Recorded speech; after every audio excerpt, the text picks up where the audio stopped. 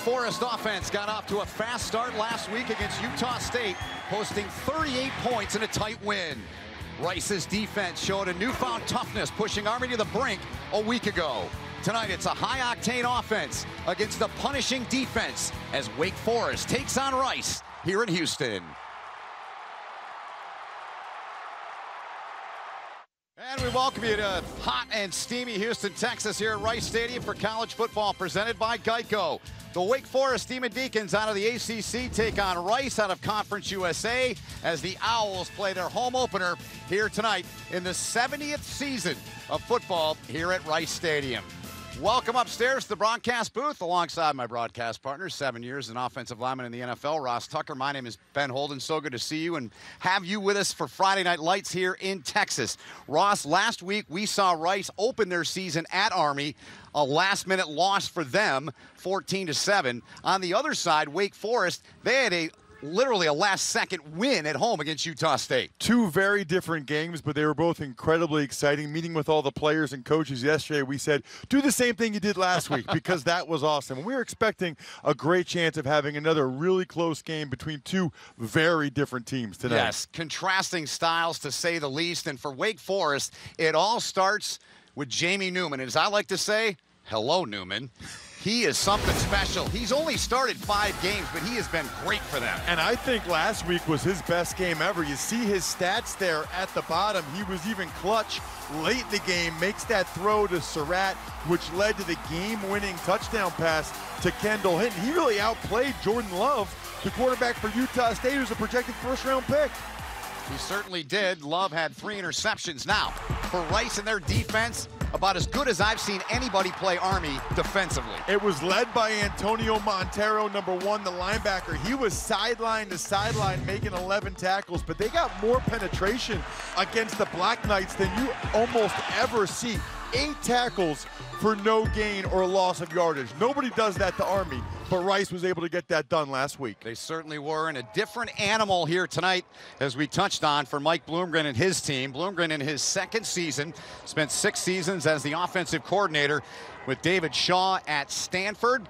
On the other sideline, Dave Clawson, back in 2014 on this very date, he won his first game as Wake Forest head coach, and tonight he's got his squad here deep in the heart of Texas on a hot and steamy one. The weather, Ross, it's cooled off about 10 degrees down there on the field since about 7.30 local time. And it's 97 right now with a 5 to 10 mile an hour wind. It feels like 102. The impact that you think that may or will have on this game? Well, two things. Number one, I almost never say this, but I'm glad I'm up here and not down there tonight because it is still really hot. But Wake Forest runs one of the fastest offenses in college football. They had 105 snaps last week, a school record.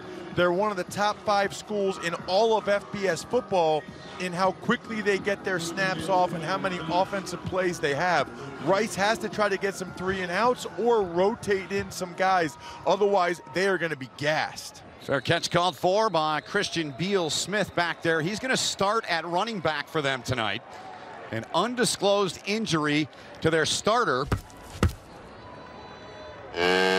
Cade Carney, got to let the cow finish. so he's out of the lineup, but we talk more about Jamie Newman. Four and one as a starter, just five games played. Last season, this team started the year with Sam Hartman at quarterback, but Newman, in three of his five wins, they've been comeback fashion, Ross. Well, and some of the teams they've beat, NC State, they smashed Duke. They came from behind against Memphis. Yeah. And eight lead changes last Friday night against Utah State. So here goes Newman in that Wake Forest offense as Beal Smith breaking right through there. And Christian Beal Smith as Montero tracked him down from behind. That'll move the sticks, though, as we look at the Chick-fil-A lineups for the Demon Deacons. Number 14 is a special one, isn't he? He is only a sophomore, but he is big time. Last week, 158 yards and a 70-yard run and catch that got them down to the one-yard line. Not much doing there. We take a look at the Rice defense, and we visited with Antonio Montero yesterday. Great young man and a great football player here for Rice. Only 19 years old, was the kicker, punter, running back, everything in being named Mr. Minnesota a couple years ago. He was a very talented one. Rice glad to have him. And Newman leaning forward out to about the 48 yard line. So you mentioned the plays that Wake ran last week. There were three teams in the FBS that ran over 100 plays. Wake, Boise State, and their win at Florida State, and Dave Clawson's former team, Bowling Green. Which is why you need to find a way to make a play here on third and medium. These are the plays that Rice needs to make a some type of stop here. I want to see them heat up Jamie Newman. If they sit back and play coverage, he's going to tear him apart. Wake was 13 of 24 last week on third down. They get it here into the hands of Kendall Hinton, and Kendall Hinton continues to play big moves the chains, had that touchdown that Ross talked about in the open last week to win it. First and 10 Wake. He's just an incredible story. Former quarterback, the only player in Wake Forest history to score a touchdown in five seasons because he redshirted after he got hurt early in 2016. Pass complete there to Scotty Washington. He was slated, Hinton that is, was slated to be their starter last year, was suspended the first three games. You had a quarterback battle like they did this year. Hartman won it last year, Newman won it this year. Here is Christian Beal Smith trying to find some room on the near side, and a good job by that front of Rice that we saw last week. Ross be very effective against a very effective run game. Well, they had Ar held Army to 231 yards rushing, which is very low for the Black Knights. Brings up another third down situation here. On the ball quickly is Newman. They need three. Newman's got time near side fires, catches made shy of the 20-yard line, but they'll have the first down. Catch made by Scotty Washington, pick up a 17. Even when these receivers are covered, Ben, they're not. Scotty Washington, 6'5", 225. Bird had pretty good coverage, but these Wake receivers, all former basketball players, all really big physical kids. Washington, 4 for 46. And a touchdown last week in their win over Utah State. Short pickup here for Christian Beal Smith getting the nod for Cade Carney here tonight. Time now to take a look at tonight's red zone brought to us by Verizon. Pretty good numbers there, Ross. Very good numbers. And the one time they got stuffed, it was fourth and one. They got stoned by Utah State. Newman and Washington's got another one. And he's tripped up. It'll be down inside of the five-yard line. They'll spot him down near the two.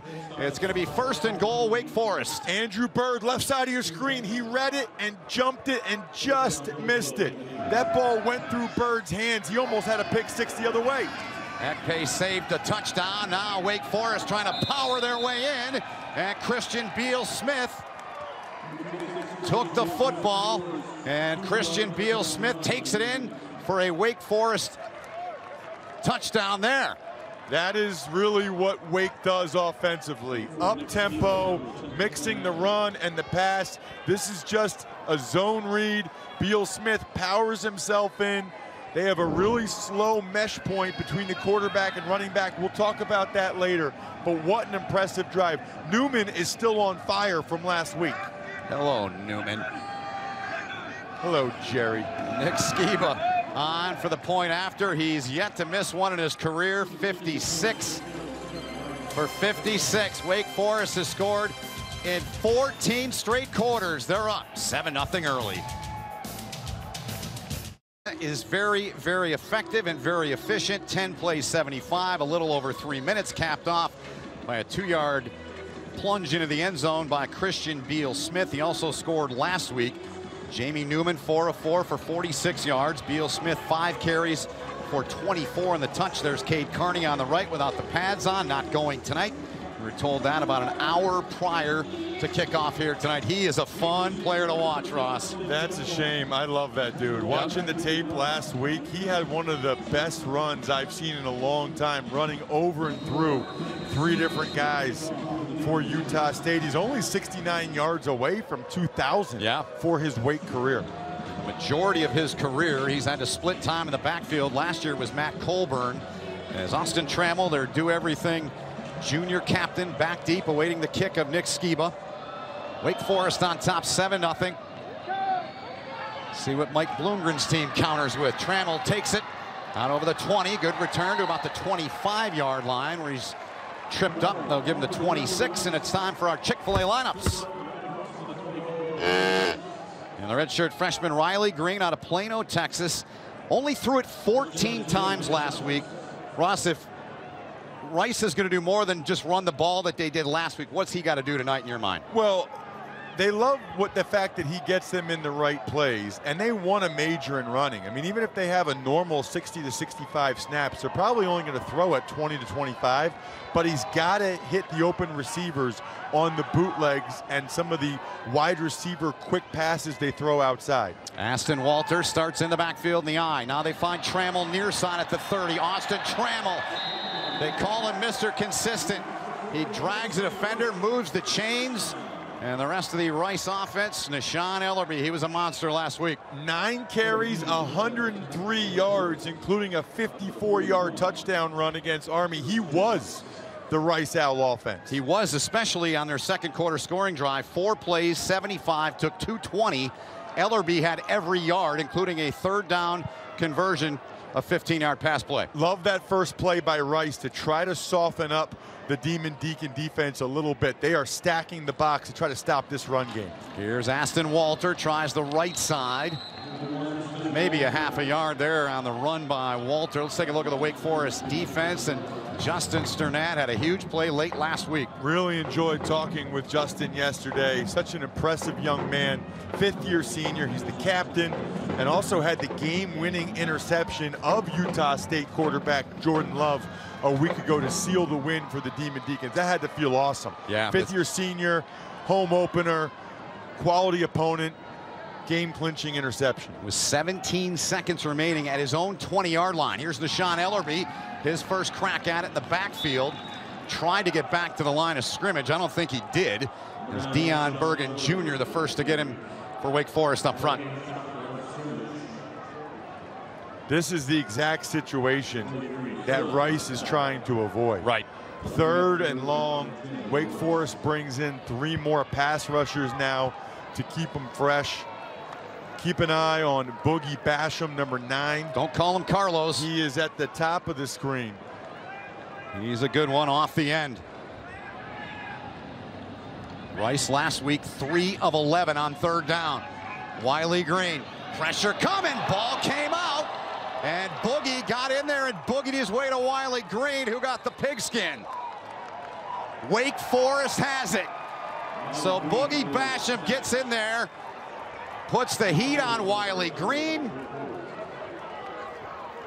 And it's Wake ball. Told you to keep an eye on Boogie Basham right there. They are going to run a twist. Watch him loop around. The tackle goes up, Basham loops around, they don't pass it off, and he gets the strip of green. Wake recovers. Exactly what Rice could not have happen. They did a terrific job a week ago protecting the football, but they did a horrible job protecting the football a year ago against Wake the Demon Deacons had two defensive touchdowns, and especially against this prolific offense, you can't give them the ball back that quickly, and you can't give them the ball back in your own territory. Boogie Basham with the strip, the pressure. Rondell Bothroyd, the recovery for Wake. Newman's got all day back there. Now goes out to his left. He'll pick up what he can and get out of bounds. Will Jamie Newman. Surratt was at the bottom of the screen, the big receiver number 14. He just runs a little curl pattern. He was wide open, but at that point, Newman was looking over to the left side. I was going to say great coverage, but it wasn't great coverage on Surratt. It was good coverage on the other guys. Yeah, no question about it. Will Smith, not much there. Good stop there for the Rice defense. Schumann and company up front. Ekpe is well helping out. Brings up a third and medium, about five they'll need to convert here inside of 10 to play in the opening quarter. Wake on top 7 nothing. Could easily be four down territory for Wake Forest. That's something you want to know if you're Wayne Ruggiero with the play caller. Newman to the air, crossing pass over the middle, caught by Surratt, took a heavy shot. And a flag comes in from the back of the play at the 14-yard line. Surratt took a huge hit there. And play halted with 9.02 to go. Surratt was the middle of the three receivers, just runs a little dig route. Chamberlain's wrapping him up, and in with the big hit is Thornton, number 18. Tyre Thornton, that one. He tried to put the shoulder in there. He tried. Personal foul, targeting, defense, yep. number 18. half the distance to the goal, automatic, first down. The previous play is under review. So remember, Ben, the rule has changed this year. It Let's has. take a look at it. Chamberlain has him. In comes Thornton. Hard to see from that angle. Let's take a look at this one. Thornton from the right side. Ooh. That to me looks like targeting. So here's where it's changed. There is no more it stands. The call will either be confirmed or overturned with targeting this year, taking out some gray area to what was in the rule in previous years. Right. And here's the thing, too. It's a blank canvas on targeting. They don't need indisputable visual evidence Right. to overturn it. They're really just looking for one of two standards forcible contact with the crown of the helmet or a defenseless player being hit in the head or neck area. And just so everyone out there knows, the crown is everything of the helmet The ruling but on the, the face field mask. is confirmed. It can be Number any part of the helmet. disqualified. Yeah, that to me looks like targeting. Me too. Here we go, D-Lo, you're up. Here we go, check. And they just they just affirmed it. Yeah. Hey, D-Lo. It was it was confirmed. You said it, Ben. There's no more stands. Correct. It was confirmed. And honestly, Yep. they could have gotten Thornton under both standards. I'm with you I on think he hit him with the crown of the helmet, Yep. and I think it was a hit to the head or neck area of a defenseless player. That's a shame for Thornton, but that's the rule. The rule is in for a reason. And now Rice can even have a tougher time covering these three weight receivers. D'Angelo Ellis checks into the game in place of Thornton. Christian Beal Smith next to Newman. Newman looking to the corner, fires, and it's caught. Sage Surratt, touchdown. Wake Forest, two possessions and two touchdowns. They're just too big. They are too big, too strong. Ellis is in the game. Surratt just runs a stop route, back shoulder throw by Newman. I don't know how you're supposed to stop that. I mean, Surratt's 6'3", 220, only guy ever to be the state player of the year in North Carolina in both football and basketball. I feel bad for Ellis. I I don't know what a corner is supposed to do in that situation. Talented young man. Here's Sciba. 57 for 57 in his career doing that. Point after attempts. And Wake Forest, they capitalize on the pressure by Boogie Ross. Started with the fumble, Boogie Basham, one of the best names in college football, and it ends with Newman throwing the ball to a young emerging star in college football. Jamie Newman, Sage Surratt. Remember the names. We're pretty different. The last three bowl games, last three years, they defeated Temple 34-26 in 2016. In 2017, the Belk Bowl, great win over Texas A&M by three. And last December, they defeated Memphis 37-34 in the Birmingham Bowl. Memphis had a field goal to tie it. It went just a little bit outside to the right, and Dave Clawson's guys made it three consecutive bowl wins for Wake Forest. Tim Duncan is proud somewhere. They've never been to four straight bowl games. Yeah. Not even one of them. They've never been to four Right. straight bowl in the history of the program. So There's you your- got to give Yep. tremendous credit to Dave Clawson, and it helps when you're bringing guys like Boogie Basham. Boogie. So Wake Forest already with nine plays inside of Rice territory. Rice started out well. Nice pass to Trammell, and then the wheels came off after that. Well, and here's the thing. There is a lot of time left in this football game. If you are Rice, you need to stick to the script. Yes. I know it's 14 nothing, but they are not a passing team. They are a run the ball down your throat, control the clock team. Aston Walter tries it to the near side, out to about the 30, where he's dragged down by Travion Red. Aston Walter, last week 72 yards in the loss at Army on 18 carries, and he's a little gimpy coming back. Yeah, a little bit. They've got other running backs. I know he wants to stay in the game, but I, I'd rather have him put somebody in that's 100% in that situation. Pick up a five on first down as he remains in the backfield. Green looking to throw. Flings it out far side and the catch made. And August Pete You mentioned Sage Surratt on the other side. This young man was quite the basketball player in his high school days, too. Nice grab here. Terrific throw by Green, and Pete got that left foot in before the right foot went out of bounds. He's a leaper, went up and got it. And that's another nice throw by Green. Second career catch for Young. August Pete had one for a yard last week at Army in that 14-7 loss. Wiley Green over the middle, nearly intercepted by Strnad. So Green dodges a bullet there. There is a penalty flag down at midfield. Such a good run by Strnad. Such a good read.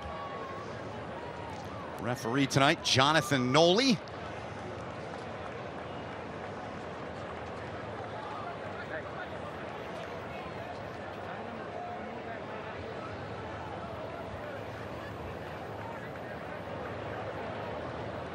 Dave Clawson now out onto the field. Could this be a number issue?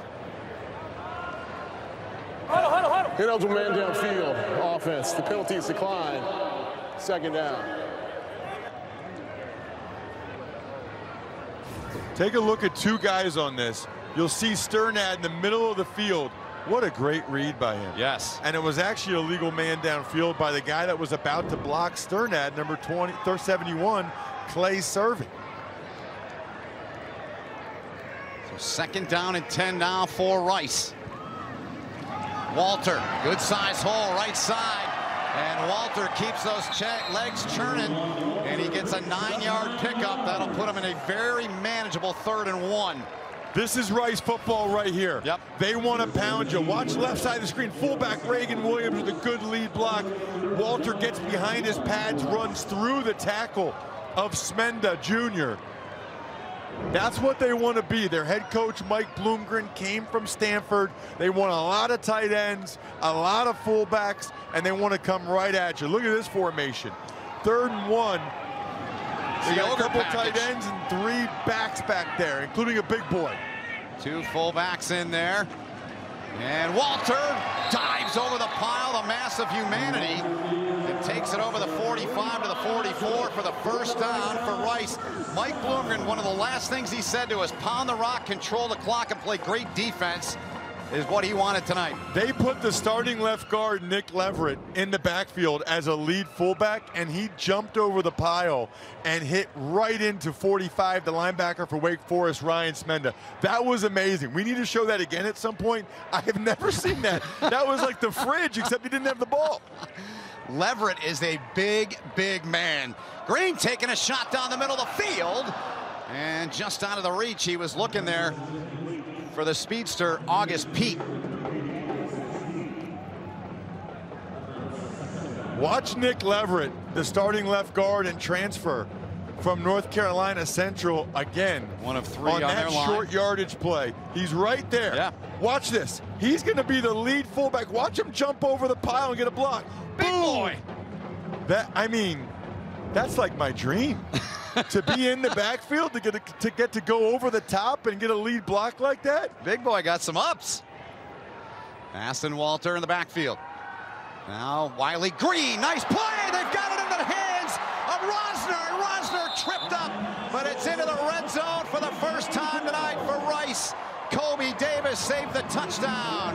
A pickup of 40 yards on the pitch and catch for Rice. It was a run pass option. The left guard Leverett pulled. That fooled the Wake Forest Demon Deacons. Nobody in the middle of the field. Rozner runs the slant. And Wiley Green is playing well right now. The young quarterback, redshirt freshman who did start a couple games last year, but because of the four game rule, maintained a year of eligibility, playing extremely well right now. Timeout, Rice. They're first. It will be 30 seconds. taken by Mike Bloomgren and Rice. First and goal upcoming when we resume. 5.33 to play in the opening quarter. Wake Forest with two touchdowns. Their opening possession, they took it 10 plays and 75. Then after a strip of the ball by Boogie Basham and a recovery, they got four plays, 31 yards. It took them just a minute 10 to score their second touchdown. Join our Tops crew bright and early Sunday morning at 8 Eastern as they get you ready for the first week of the NFL, the 100th season of the NFL. Don't miss the unmatched analysis and bold predictions from our football experts on that other pregame show right here on CBS Sports Network. Really impressive drive so far by Yeah. Rice, but they, they got to cash in. Gotta I mean, finish. they absolutely have to finish Yep. here. They weren't able to do it last week. That was one of the things that they talked about. They had to settle Mm-hmm. for a couple of field goal attempts, and they missed both of them. Yes. Which 26 is a and major 44 problem. yards. You know they don't want to put it in Harrison's shoes again. Will Harrison, their place kicker. They're standing by him. So now first and goal here for Rice. Aston Walter, the back next to Wiley Green. He's got two up top, does Green. Going to come near side, though. Going to float it out there. And there's the flag. They were trying to go to Rozner as Amari Henderson was on the coverage there for Wake Forest. A lot of contact there. Both these teams like the fades and back shoulder throws in the corner of the end zone. Pass interference, defense number four. The ball will be placed at the two-yard line. Automatic, first down. So from the two now, Dave Clawson's defense will try and dig in. Here's the penalty, Ross. It looked like they were both kind of doing Yeah, some hand yeah. fighting, but because of where Green threw it, at that point, then Henderson's restricting him. Rozner's trying to get over there. Yeah. You know, if that ball's thrown right to them, or even on the other side of Rozner, they don't call that. But Henderson is restricting the movement of Rozner. Here comes our big boy Leverett He's is in the backfield again. There he is. Watch big old 55. Deep back is Aston Walter. Walter's got it. Wake was ready that time. Strnad and company, Boogie Basham, number nine in there. And the big boys up front, Dion Bergen Jr. as well. able to see exactly where that ball was going. Leverett leads. Nice job off the edge. And Rothrock as well got in there. Yeah. So an injured player Timeout for down. injury. Shea Baker for Rice. Starts at their right guard position. You said a couple times last week, I, I find myself go watching the game back laughing because you were laughing. He couldn't find anybody to block a couple times last week. He had a very good game. He did. Offensive coordinator Jerry Mack said the biggest difference that they noticed from their line last year to this year was just the guard play. Mm-hmm. Baker started at center last year because of Chafin transferring in from Stanford. He's Yep. at right guard. We've already highlighted Leverett, who's at left guard. Yep. Baker will obviously have to come out. The One good play. news is the backup guard, Cole Garcia, started a lot of games last year, number 73. So it's a luxury they did not have a year ago, which is having a guy able to come off the bench Yep. that has some playing time. And number 73, Cole Garcia. He's been in these situations before. Rice looking to find the end zone for the second time this season. They found it once last week at West Point in a 14-7 loss to Army. Walter the deep back in the eye. Regan Williams in front of him. Walter, they fake it to him. Wiley Green still got it, trying to slither his way in, but the pursuit, too good. Strnad got out there, had some help, but he led the charge. And there's a Rice player slow to get up. Is that Wiley Green? It is Wiley Green. It is. He, he took a, a very Officials tough time shot. for injury. from Justin Strnad, the fifth-year senior linebacker. Let's take a look back. It's a nice job on the edge by Wake. They were ready for it. Good coverage on Jager Bull. Francis comes down the line. Here comes Strnad. Oh. That one to me looked like it was right on top of the head. The hit.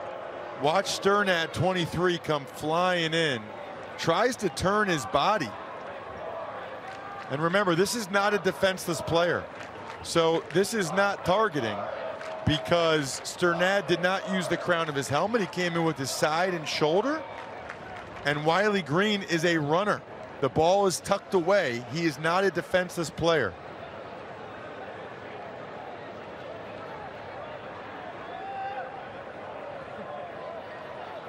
Tom Stewart, the backup tonight if they need him. And Wiley Green's been down now for a, about 60 seconds here in the final five minutes of this opening quarter with Wake Forest on top, their first road game of the season. Leading 14 nothing. There's Stewart getting some snaps. And we'll step aside with 4.44 to go in the opening quarter here in Houston. Rice on the move, down 14 0. It's time for the biggest sale of the year on Right there, the outside linebacker. He initially gets fooled, but then you're going to see the athleticism that he shows. He thinks it's a run to the left and goes there. Watch the redirect by him to come all the way down the line and make this play. Green scores right there if Strnad Yep. doesn't run that well. 100%. That is a terrific play by Justin Strnad. Very, very impressive by the fifth year senior. Certainly some concern there. Wiley Green is Tom Stewart. He's a grad transfer, grad student here at Rice. Came in from the Ivy League and Harvard. They're bringing a cart out onto the field. And Wiley Green, starting quarterback for Rice, down and injured, will step aside as they tend to him and come back to Houston after this. Old Trapper Beefs. Fake protein. Wiley Green, the redshirt freshman, starting quarterback out of Plano, Texas, still being tended to. Not much movement out of him at this point. The entire training staff, doctors, and yeah, prayers being said on the sideline. The right sideline, they're down to a knee. Mike Bloomgren. We saw it last week in his team. The difference, the change. You always hear about the word culture. And there is a different culture here at Rice. Right now, the wins have not showed to this point of the season, but there is clearly a different culture that he has instilled here, and they're hoping their quarterback will be okay. He's got a lot of people around him, Ross, and it's a situation you never want to see. Well, there is a standard protocol and procedure anytime there's a potential head or neck injury. Mm-hmm. So they're going to take every precaution Yep. with Wiley Green. He's only 19 years old. We got a chance to visit with him yesterday. Yeah. Very impressive young man. Yes. Was considering some Ivy League offers and had a scholarship to Arizona late, but wanted the academics and the opportunity to play at Rice. And I can just speak from experience on this, Ben. Yeah, what you got? As a former player, this is what you pray about if you pray before games. Yeah. To try to avoid any type of potential serious injury. You can see that the Face care mask. they're taking Yeah, they're taking it with off. taking his helmet off. Yeah. Saw Justin Strnad there, the middle of your picture there in that Wake defense. He was the one that delivered that hit. They try to take every precaution they can As they should. to try to move his head or neck as little as possible. But this is the one thing you know playing big time football, whether it's Division One or in the NFL, you know that there's always the possibility of a serious injury. Yeah. And every guy for both teams hopes that everyone on the field that night, that day, that whatever can avoid something like this. Yeah. You never want to see it, but it's a risk that these men take when they play this great game of college football. They know that. Concern on the look of the Rice players. Dave Clawson up and down the sideline. His squad out to a 1-0 start. 38-35 win. Nearly 1,200 yards combined in their win last week with Utah State. I think it's important to note, Ben, that just because you see all the people around him mm-hmm. and all the care they're taking, Yep. that does not mean it's necessarily a serious injury. Yeah. It just means they're treating it as if it could be Correct. a serious injury. They're Yep. taking every precaution to make sure they are as safe as possible with that young man. training staff of Rice. They've also got some assistants out there from the Wake Forest staff. They're obviously trying to help in any way they can. Green was trying to take it in around that right end. And Justin Strnad, the redshirt senior out of Palm Harbor, Florida, starting his 15th straight game, came over, just made a play. And Green has been down now for a good five going on 10 minutes.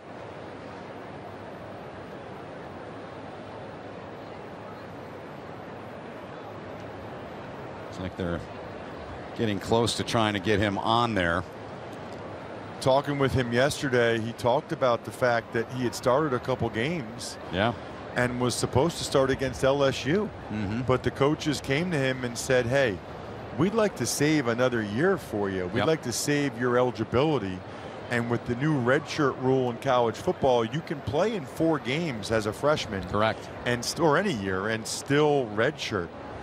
So they said rather than playing these next two games, we'd rather have you for 12 or maybe 13 games in a bowl game mm-hmm. in a few years. And he said it was the best scenario he could have imagined. Got the chance to play, got a chance to get some confidence in himself. Really, he was lightly recruited in high school because he broke his foot as a junior. He did. So he didn't get have any tape till his senior year at Prestonwood Christian Academy. His mom coming out now there.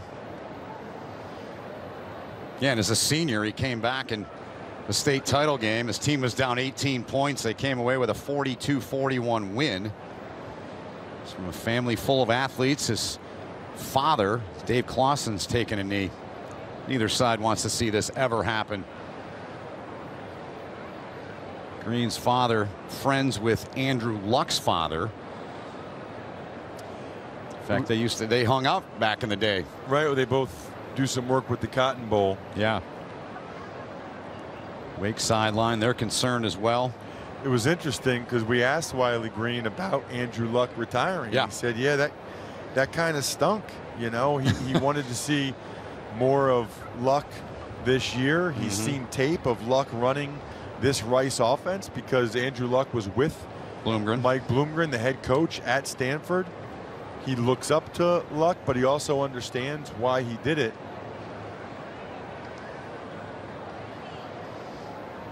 Concern on both sidelines as they continue to tend to Wiley Green, Rice's starting quarterback.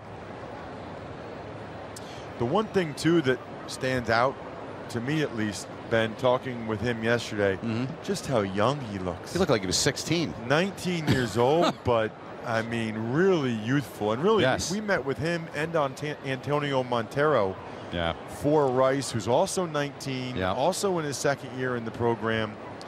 And those guys just looked a lot younger Yeah. than the guys we worked we met with from Wake. Yeah. Jamie Newman, the quarterback, who's a redshirt junior, and Yeah. Justin Strnad. I mean, it, it was the difference between 19-year-old guys and Yeah.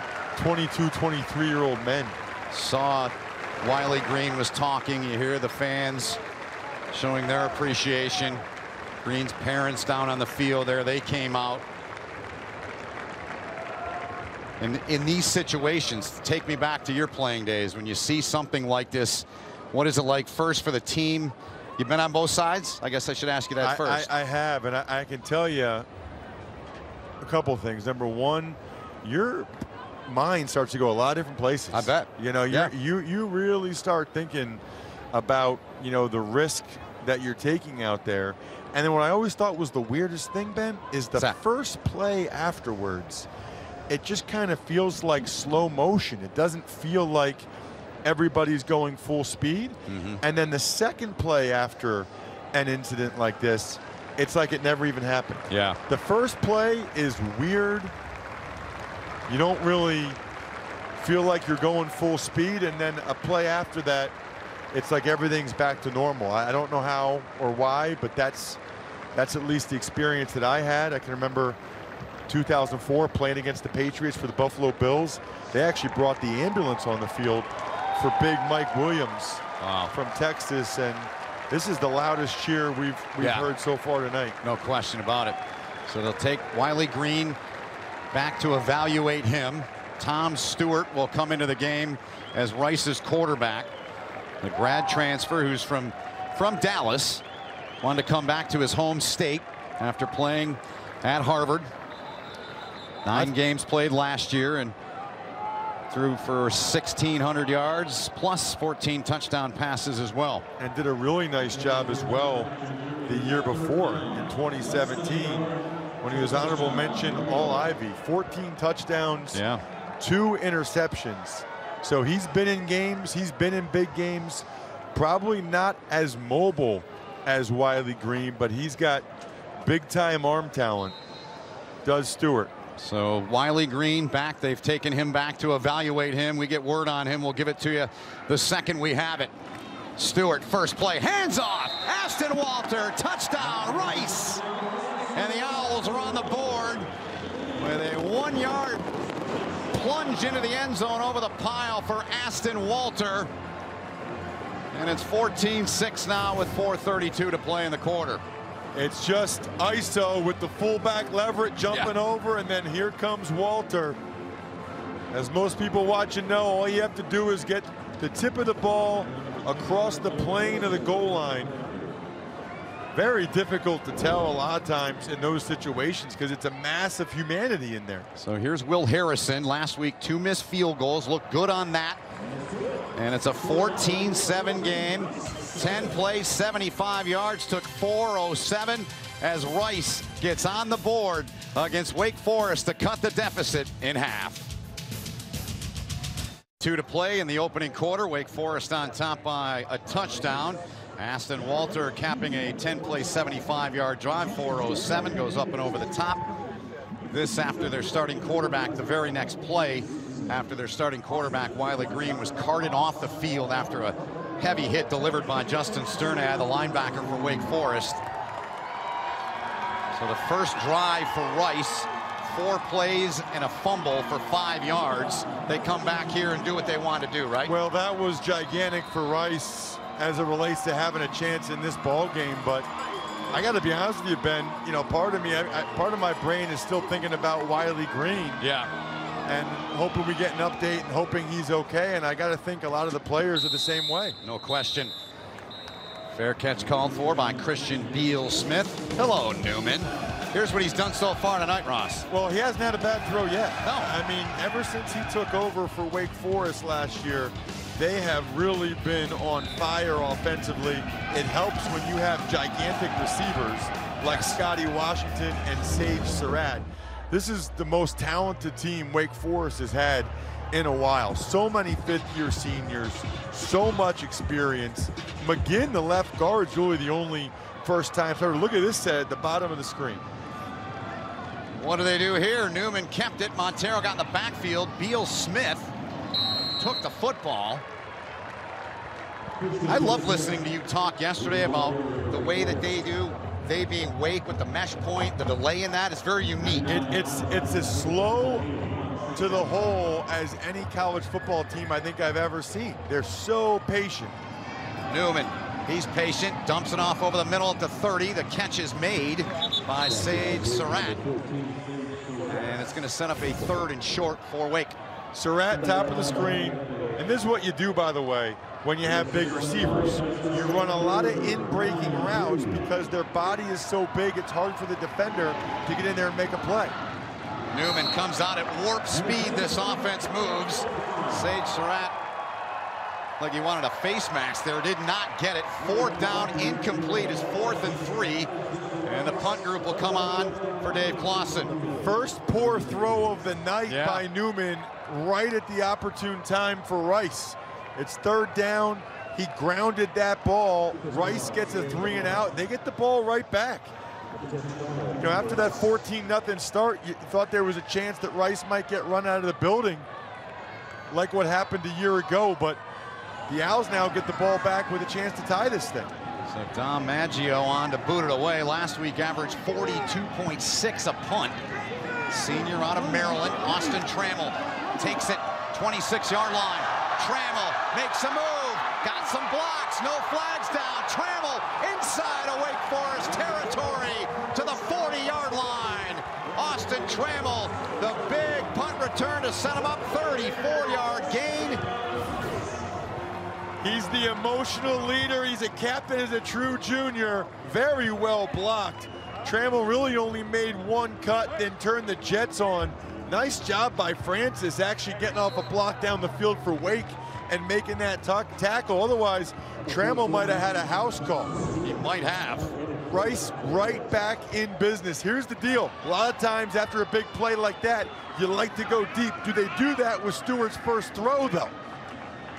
Tom Stewart, there is the first set throw, and he finds one of the tight ends, Jordan Myers. So let's go back to pregame a few minutes before. This is Austin Trammell in the middle getting his guys fired up, Tucker. Watch this.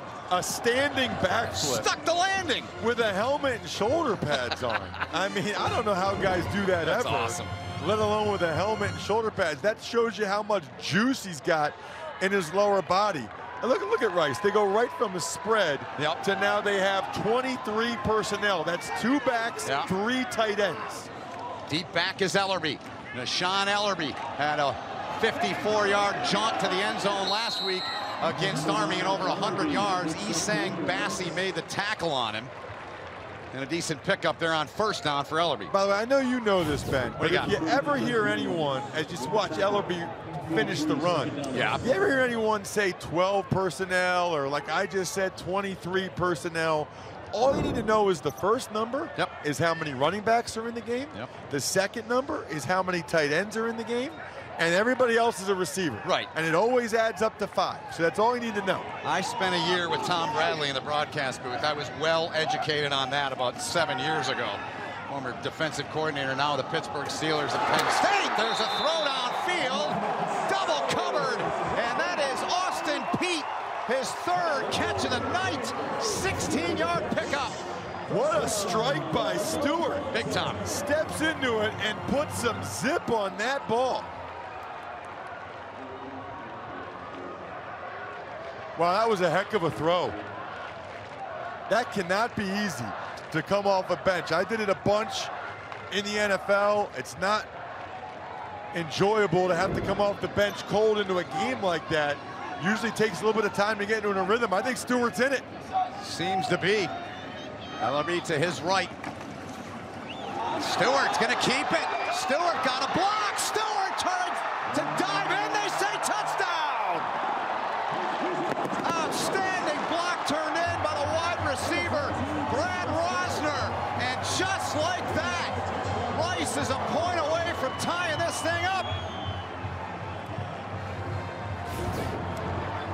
He's not as athletic as Green, and so Wake wasn't expecting it. And you said it exactly right. What a job by Rozner. Man, as a former offensive lineman, I love receivers that block downfield. Good eyes, Ben. Number two, Rozner, blocking downfield. That's how you get big runs. That's how you get touchdowns. Yep. When your receivers buy in. There's Stewart with Charlie Booker, who also came here as a grad transfer from Harvard. And Mike Bloomgren told us, he's told us both times we've talked to him, is I'll finish that when you go through this. Yeah, right side of the screen. Watch Rozner, number two. This is the fake. And then the right side of the screen, Rozner right there, number two. Finishing the block on Jasir Taylor. Yep. Harrison on to try to even the score up in this contest, and he does. We are tied at 14 apiece. Bloomgren said about Stewart, he said, you know what? It wasn't that he wasn't good enough. They felt better with Wiley Green leading their system. Two guys to keep an eye on, Boogie Basham and Rozner at the top. Boogie Basham, the D end, totally fooled by this zone read. He just goes for the running back, the right read, and then at the top, Rosner finishing the block. Beautiful.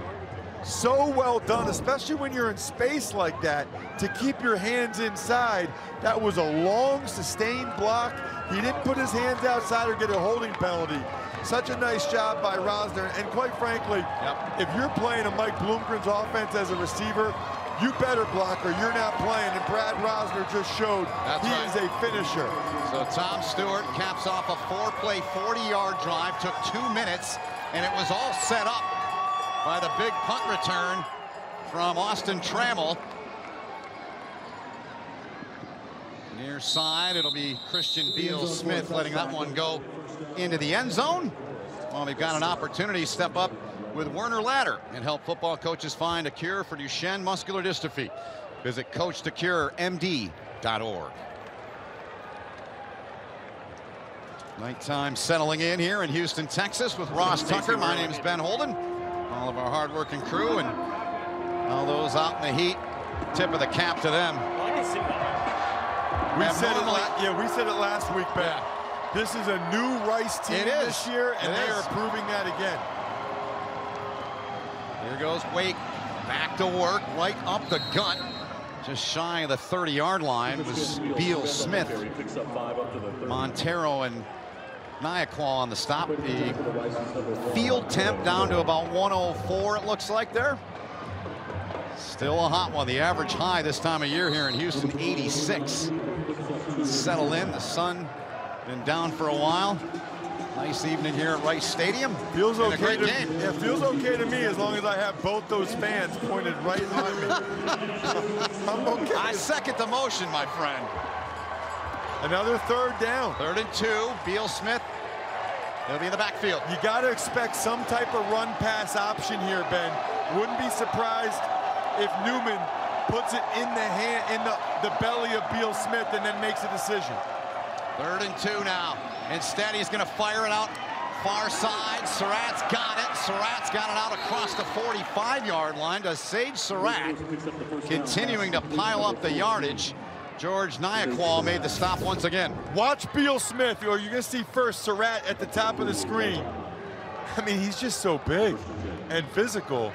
That's barely even a route right there. Yeah. It's kind of run a couple yards and use your body to Newman push off a little over bit. the middle. He left that ball in that mesh point for an awful long time there. And then Kendall Hinton gets it down to the 25-yard line. See if they run another play or not. It looks like they're going to opt to let it wind down here. 27-yard pickup there. So we played 15 minutes here, Ross. 14 apiece. That's the end of the first quarter. Wake jumped out to a 14-0 lead. But the Rice Owls, they storm back here in their home opener here in 2019. And after one, it's 14-0. You're watching college football on CBS Sports Network.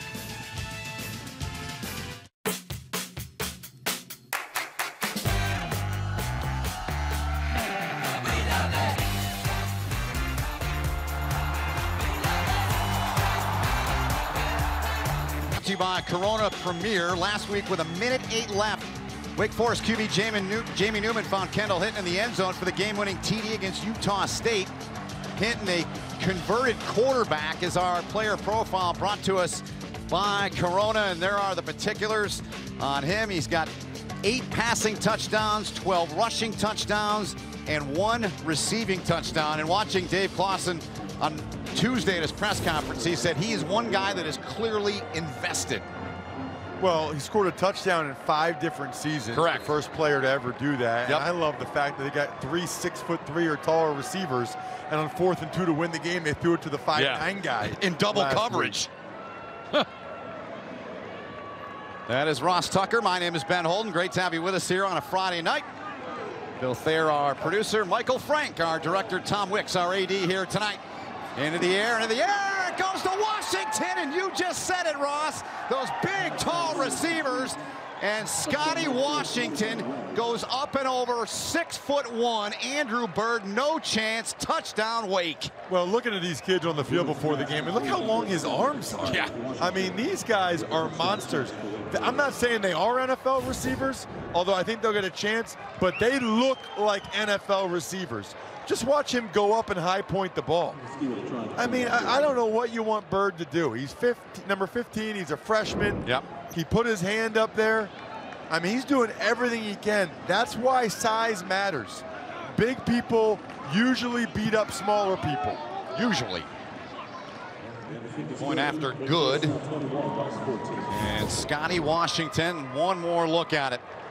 I mean, look, Bird even puts his left hand in there, Yeah. tries to rake through. That's one in the NFL. Ben, you just say, well, those guys get paid too. You just kind of tip your cap Right, right. and say, those guys are pros, they get paid too. And I guess in college you say those guys are on scholarship too. And that's what an ACC receiver looks like, Yep. whose team is probably going to go to a fourth straight bowl game. Five plays, 75 yards, 25-yard touchdown reception by Scotty Washington to cap the 75-yard drive. Again, warp speed, a minute 36. Second touchdown of the season for Washington. He had one in the second quarter last week. Made it 17-14 Wake at that point of the game. He also had three bad drops He last did. week, so he has come back from those drops against Utah State. The reality, though, Ben, is Rice needs their defense to play better than this. You know, they need this to be a lower scoring game Yeah. to have a chance to win it. They only gave up 14 points to Army all week, but this is a totally different animal they're going against tonight. Sciba boots it away. Austin Trammell, fair catch called for. Right near the goal line. When the offense comes on the field, we'll let you know tomorrow starting at noon Eastern.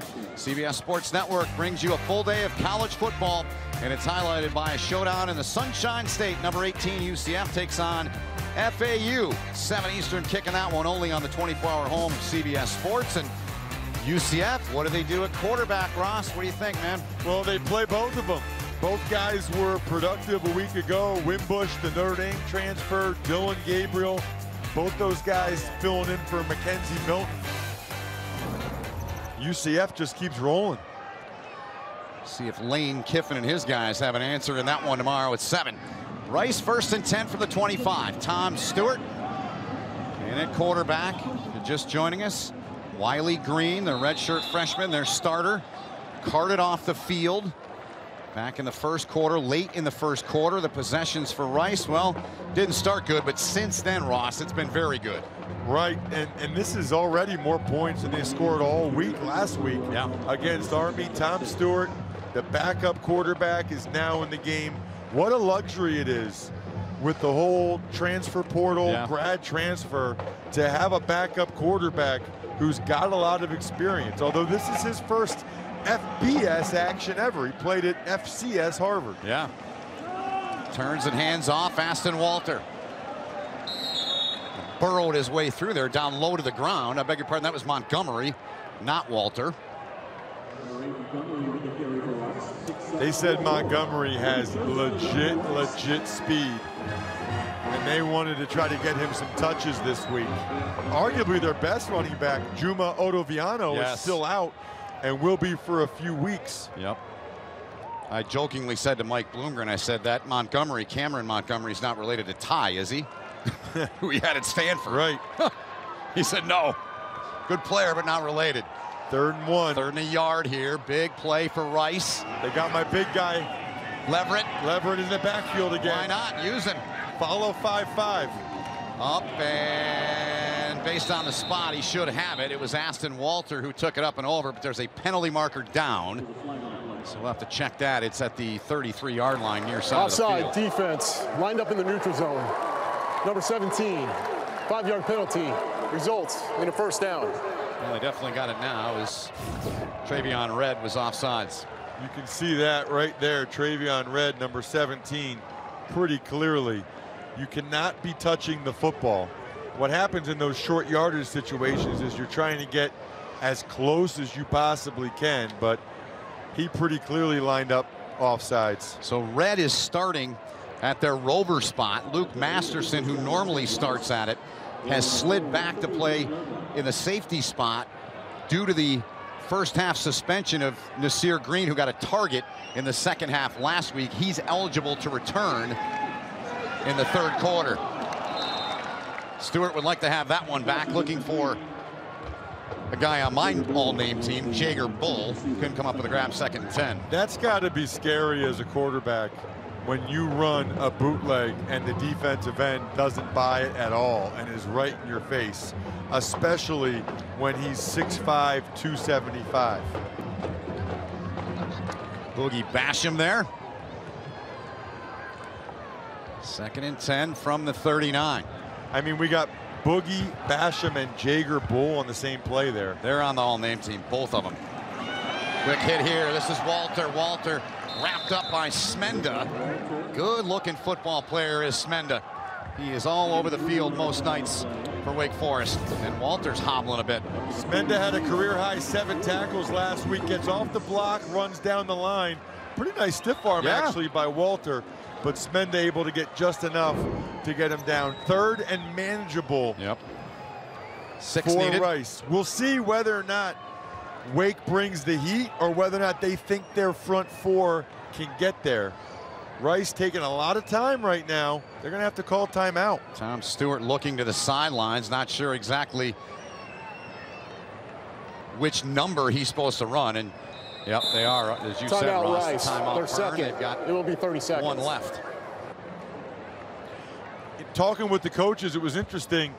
You know, Stewart, as a grad transfer, trying to learn a whole new offense, and they've got a lot of offense in. They've got all the Stanford multiple running backs, multiple tight end stuff, but then they also have all the RPO stuff that Jerry Mack, the OC, brought with him from North Carolina Central. And I think the biggest reason why Wiley Green won the starting job is he just handled all the play calls, all the audibles better than Stewart did. Yeah. And, you know, they said Stewart has a package of plays that he's comfortable with, but I didn't notice Wiley Green having a wristband or looking down at a wristband. Right, But right. it's clear that Stewart has a package that he knows and has to look down. I don't think he could find the play on the play before. He looked over like, I, I don't see it. What number are you calling? It's like being a catcher in baseball. Here's Stewart now on third and six. Pressure comes, and they get him. They get him back at the 32-yard line. Basham and company were in there. Ja'Cory Johns off the end as well. They brought pressure from this side. Watch these guys right side of your screen. They're going to come. In comes Ja'Cory Johns. Gooseberry tries to pass it off. He's got to stay with him. Number 76, Justin Gooseberry, the right tackle. Watch right side screen. Gooseberry lets him go because he thinks he's supposed to block somebody else. He was the defensive end on the play. Gooseberry, 76, has to stay with Johns. Surratt's back awaiting the punt. Makes the catch on the move. A couple of nifty moves up the sideline and a decent return onto about the 35-yard line off the punt of Adam Nunez, who last week put three inside the five. Not this time. Wake Forest has it when we come back up by seven. Our last slide there about co-signing. a- Oh, Yeah. I think Alabama wants to play him to get rid of that Rice. Is like, nah. Nick doesn't want the uh, he wants a blemish on their on the right side of their win-loss column. Here's Newman keeps it. Jamie Newman ducks down. Good pickup there, and that'll set up a short conversion attempt next play. Their possessions, Ross. Very impressive.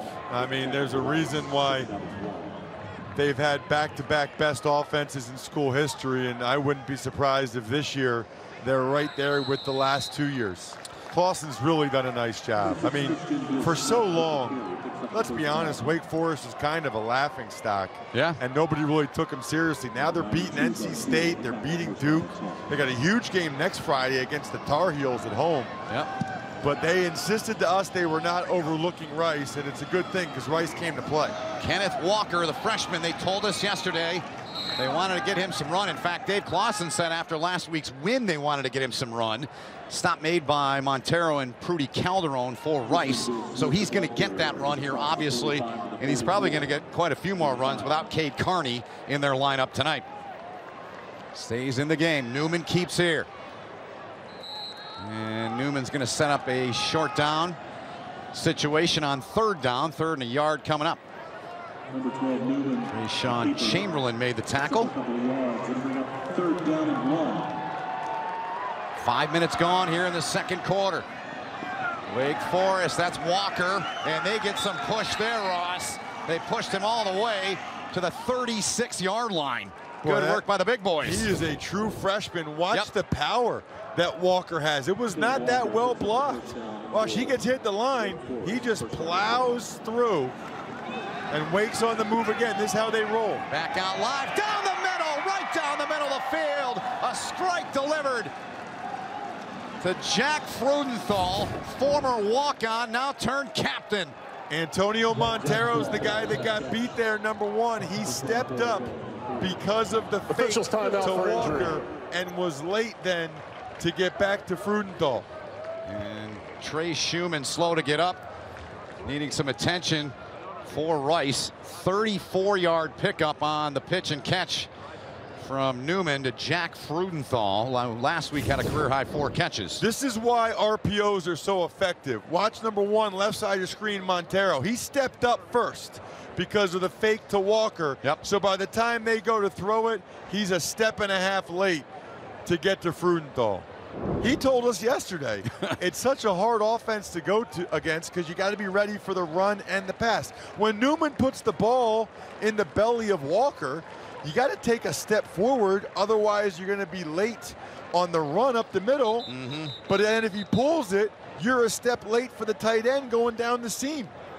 That's the guy they're putting in a bind, and it worked perfectly. It certainly did there. Look there at Freudenthal. Redshirt senior out of Richmond, Virginia. Now first and goal here for Wake Forest. Leading by seven. Kenneth Walker's back in at running back next to Newman. So behind him here, a little offset to it.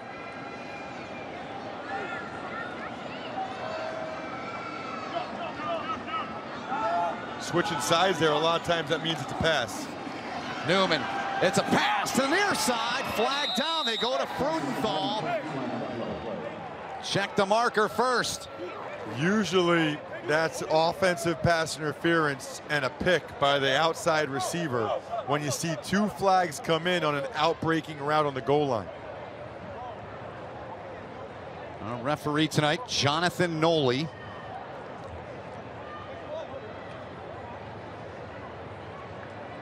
Get the verdict from him here. Pass interference offense, number seven, 15-yard penalty, replay first down. Scotty Take a look Washington. at Scotty Washington out there. He's going to run an in-breaking route here, and he's going to pick the guy that's man-to-man on Freudenthal right here. Yep, right there. You can run your route, but you can't clearly try to get in the way of the defender.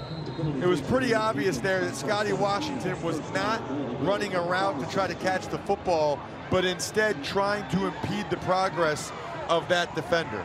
And by the way, just as an aside, Ben, Yeah. I knew it was a pass because you know how he switched the running back Yeah. sides? Yep. You're usually not doing that if it's a run. You're usually switching the side of the running back for pass protection purposes. Yep. Here's Newman. Near side again. Throw on the mark, and this one's reeled in by Scotty Washington. They get him down. Ellis did down at the 11-yard line. Once again, Newman just throwing the ball to one of his big-bodied receivers.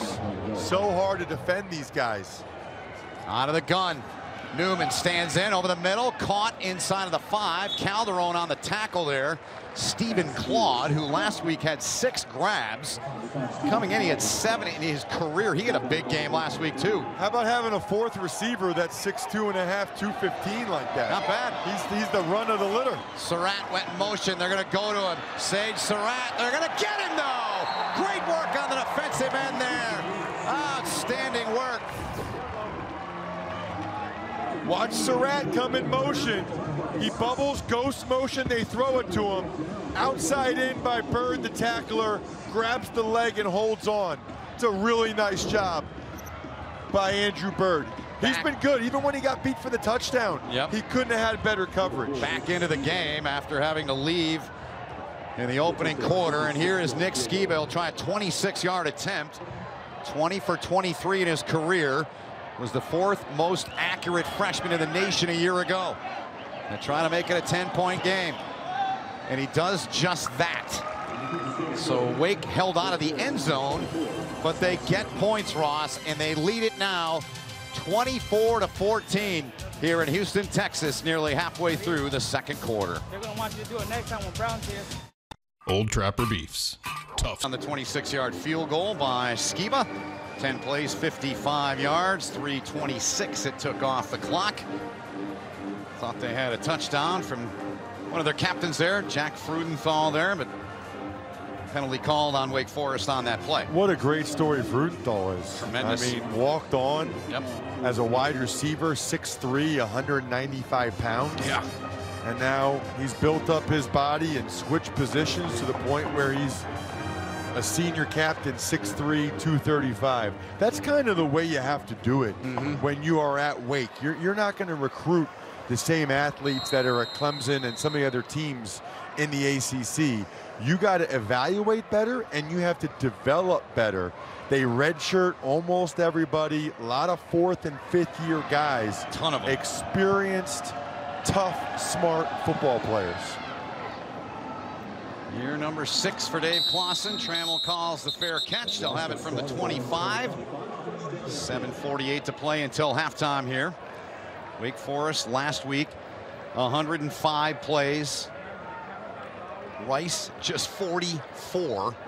And that's what the Demon Deacons have done here in this quarter. 95 to 3 the yardage to this point as Stewart brings them back onto the field here. Rice has to get back to their roots of running the football. I know Stewart has made some nice throws, but I just don't think that they can major in that. They need to lean on that offensive line with the three fifth year grad transfers and try to possess the football and knock Wake Forest back. Cameron Montgomery is the deep back. They give it off to Regan Williams. The grad transfer from Stanford. He bowls his way forward for about six. The lock's flowing. He looks like a fullback, doesn't he? Going right back on the football. Now they back off. Maybe not. Product of Jackson, Ohio is Williams. Fullbacks don't get the ball that often. Look at him just driving his feet. Then he spins a little bit. You don't see very many fullbacks get the ball in college football or the NFL anymore. It's almost an ex extinct position. Yeah. yeah. Detroit Lions have Nick Bawden, former San Diego Stater. Played in the Rashaad Penny years as Cameron Montgomery gets the carry here. Third down upcoming for Tom Stewart, the Harvard grad transfer. Came into the game late in the opening quarter when starter Wiley Green was injured. Take a look at Masterson, number 12. He splits two blocks to make the play. Wow, that's impressive. Guy that plays everywhere for this Wake defense. You said earlier he's playing safety tonight. Yep. At least in the first half because mm -hmm. Nasir Greer is out with the targeting. But he split two offensive linemen there to make the play. Otherwise, that would have been first down yardage for the Owls. Versatile guys, played safety, linebacker all over the place. Rozner had it, took his eyes off it and dropped it. Fourth and three now. They'll have to bring the punt team on. Will Rice. Got to make the layups there. Yep. They had a heavy set. They saw that Rozner was man-to-man. -man. They wanted to get the ball in the perimeter right away, give Rozner a chance to make a guy miss or power through to get the first down. They missed a couple of those against Army last week, too. That's got to be an easy completion. So here's Nunez on. Another one Time of those. Out Wake Forest. Nice first. transfers. It will be 30 seconds. TCU kicked in 40 straight games there. He was pinpoint accurate last week. Timeout's been taken by Wake Forest. They've got two left, Rice with one. Which is interesting, by the way, right? I mean, six minutes left in the second quarter. Yeah. For Wake to take a timeout before a punt return? That is odd. I don't know if they're worried about a potential fake here or what, but that's Could a be. that's a curious timeout by Dave Clawson. Maybe they just weren't lined up the way he wanted them to be. He is keeping his defense on the field. Yep. Other than the returner, Surratt, yes. the starting defense is out there. He's not taking any chances with a Rice team trying to pull off an upset. This is called defense stay, which is pretty self-explanatory. Hey, defense, stay on the field in case it's a fake. Nunez. Fair catch taken and made by Sage Surratt. Inside of the 30. First and 10 for the 29, and we come back for Jamie Newman and the Wake Forest offense. A fan cam to see how the fans are reacting here tonight at Rice Stadium. 70th year of this venue. It's hosted a Super Bowl, Super Bowl eight. JFK with a famous speech back in his day in this very venue, and Rice trying to get their first win of the season, even their record at one and one. Meanwhile, Wake and Jamie Newman, who's missed on one for 181 and two scores to this point, will start from the 29 here. He's a stud. You guys are killing me, by the way. Who? Between Chick-fil-A and Corona, it's a Friday night. What are you, I'm hungry a, and thirsty? I'm at a football game. I can smell like some pulled pork up here in the press box. Killing me. Killing well, it me. Houston. Newman fires, caught by Washington, He gets over the it. 40. It did drop it, yeah. Dropped it near the 40-yard line. Had three of those last week. So when you think about Jamie, look, I mean, that's a perfect pass. It is. He had three last week, and they said at times he has confidence issues. So you think about Newman's numbers last week and tonight, they should be even better. Newman keeps it. Plows forward onto the 34. First time tonight we've called another guy on the all-name team, Blaze Alldredge. Yes. Makes the stop. His middle name, by the way, is Achille. Well, he read that very well, bounced off an offensive lineman, brings up a third down here. Look for one of the big receivers. They go quick. Newman stands in, flings it, overthrows Sage Surratt, and it's fourth and five for Wake Forest. Really the first time they were able to get pressure. Watch number one, Montero right there. They run a stunt, he comes around. He gets cut down by the back, but still able to get back up and affect Newman's legs as he tries to step into the throw. That's why the ball went high. It's a nice job by Beal Smith, the running back, with the pass pro, but Montero relentless, able to affect the throw. The second three and out for Wake Forest here tonight. Maggio steps into it, bangs it down. Fair catch called for by Austin Trammell inside of his 20. Five and a half to play until the half. Rice will look to get back into this game down by 10. It's their football. Tom Stewart leading the charge, and we come back. Georgia State looked like the better They team did. and dominated the action. They did. Headlines from week one is Sean Ellerby's checked in at running back. Chase Monroe, the first one to get to him. Linebacker for Wake Forest. Ellerby last week over 100 yards. Had to come back from a couple of issues with his knee. It's been a long road back. They weren't expecting him back until what, week five? After they played Baylor. Tore his ACL at the end of 17 and just never really able to come back. Last year had to have another operation on the knee and is far ahead of what the medical experts thought he'd be at this point. Loss of a yard on that run by him. Aston Walter snares it with one hand, breaks a tackle of Smenda, and he's forced out by Strnad there. And it'll bring up a third down and manageable here for Tom Stewart and Rice. So this is the matchup you want. Really, every level of football, if you can get an athletic running back on a middle linebacker like Smenda, that's what you want. Watch Smenda. He's a bigger guy trying to catch Walter. What a catch by Walter, by Yeah, way. That was. was a one-handed catch. Yeah. But that greatly favors the offense. Because a lot of these running backs these days, Ben, they're basically slot receiver types, and the linebackers just can't keep up with them. Rice, two of five on third down. They need six here to convert. Stewart to the air. He's got his man, Trammell. First down, Rice. Austin Trammell, Mr. Consistency. Mike Bloomgren calls him, and that's a pickup of 13. They really like Trammell on those inside release slants. He did that once last week against Army. He really looks like he's shot out of a cannon when he runs those inside slants. If Stewart put a better ball on him, I think he might have been able to run for a while. Yeah.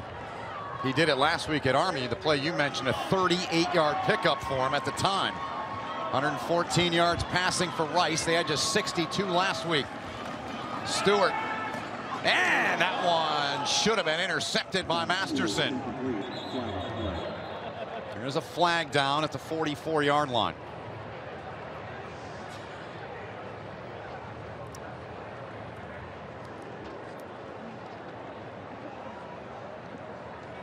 There's no foul for pass interference. The ball is tipped at the line of scrimmage. Second down. So there's the word from Jonathan Noli, our referee here tonight. So mark my words on this, Ben. Luke Masterson, number 12. Yeah. He's going to get a chance at the next level. Jumps up, gets two hands on it. He has played the rover, Yeah. which is the outside linebacker spot, mm-hmm. typically to the field. He's played safety. He's 6'2", 220. They put him at a bunch of different spots, but that's what they want in the NFL. They want safety types that are big enough to play linebacker. Product of Naples, Florida. Good tackle there. Yanked down by Essang Bassey was Walter. You know who I else think you can put that category? You're the expert on this, but Ryan Smenda. Smenda as well is a good player. I, I think Strnad Yeah, is, I'm is with a, you on is- that, too. is a pro. Yeah. Strnad can really run. Yep. Smenda's a younger guy and a bigger guy. He's going to have to prove he can cover. Yep. But Strnad and Masterson can both really cover. None of these guys weigh 240. I mean, those days are over. Yep. The days really of even having three linebackers on the field a lot are pretty much over, unless you're playing against a team like Rice. Third and three for the Owls. Stewart to the air, swings it out, catch made by Jordan Myers, and Myers works his magic and gets the first down for the Owls inside of three to play until halftime. Terrific job by Stewart getting the ball out of his hands quickly and not letting Basham get a hand on it. Myers got right upfield, pretty good block downfield from Pete. Look at this, he knew exactly where the sticks were. Beautiful. And dove for it. Fresh set of downs here. 10 first downs for Rice. One less than their opponent here tonight. Regan Williams plowing ahead. Just powering behind that line, Ross Tucker. I know you got to like that. Well, I just love the way Rice plays. I mean, last week for me, Rice against Army, that's like, that's as good as it gets. You got the option versus a team that has a million tight ends and fullbacks. Yep. You know, talking with Bloomgren, Mike Bloomgren, the head coach yesterday, he said that they got absolutely dominated up front by Wake Forest a year ago on Yeah. both sides of the ball. That's not happening. I mean, they're losing Not by 10, year. but they are not getting dominated up front at all. They're a year older, and the three grad transfers have really helped. Second and five now. Pitch there into the hands of Cameron Montgomery, and Montgomery showing some speed. And Montgomery moves the chains again. Strnad forced him out of bounds. All the flow was going to the defense's right. This is basically a counter in my mind. All the flow going defense's right. Pitch it back. Masterson's Halftime interview. too late to get back out there.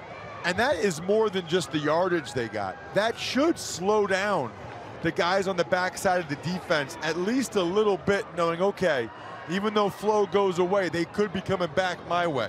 Pickup of eight on the play for number eight, Cameron Montgomery, who stays in the game. Stewart, pressure coming, steps into the pocket, can't get away, and they get him.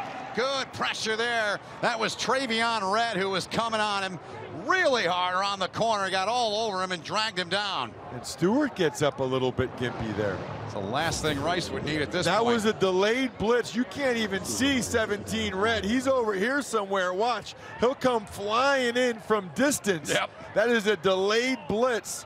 Stewart's got to feel that and get rid of it. Yep. I think more teams should do delayed blitzes because the offensive line doesn't account for it. Pitch and catch. That is Jordan Myers with a grab. You know, if we can't even see him on the replay, right? The offensive line, they only block their blitz responsibilities typically if the guy comes right now. Right. So I like the idea of a hesitation blitz, a delay blitz. Just give it a beat and then have a guy that can run like Redd come. He's going to come scot-free because the offensive linemen check their linebacker responsibility and then help the D-line. Oh, well, it's third and eight here, Ross. Ball at the 38-yard line. Is this four-down territory? It in is, your mind? they, would, they would not attempt a field goal from here, so they can call this play knowing they're probably going to go for it. And it's knocked down. Boogie Basham knocked that one down, brings up fourth and eight. Terrific job, Boogie Basham, top of the screen, had the strip sack earlier. He'll watch Stewart set up, and he knows right there, he knows it's going to be a quick three-step. Yep. Gets a hand up. So much of this game is just being smart. As soon as he saw Stewart set up like that, I'm not going to get there for a sack. Stop, get my hands up. Kind of thought Rice might run it there to try to force Wake to at least use a timeout, maybe go for on fourth down. So Nunez, who last week put three inside of the five, trying to do it again, Don't pick it up, don't pick it up. and he did it again. Wow. Pinpoint accuracy from the TCU transfer. Now four punts this season inside of the opposition's five-yard line. 41 seconds remaining. Wake Forest with a football, two timeouts, and a 10-point lead. Really curious to see how Dave Clawson and the offense elect to play this. Yeah, me too. I mean, they're one of the fastest teams in college football, fourth fastest. in terms of how quickly they get the ball off, less than 20 seconds between each snap.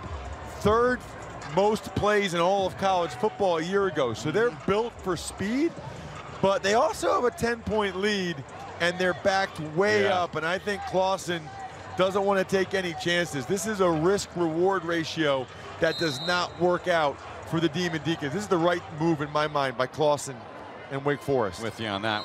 I would say to your point about how fast they are, they are from the state of North Carolina. You know, where NASCAR is king. You ever do that?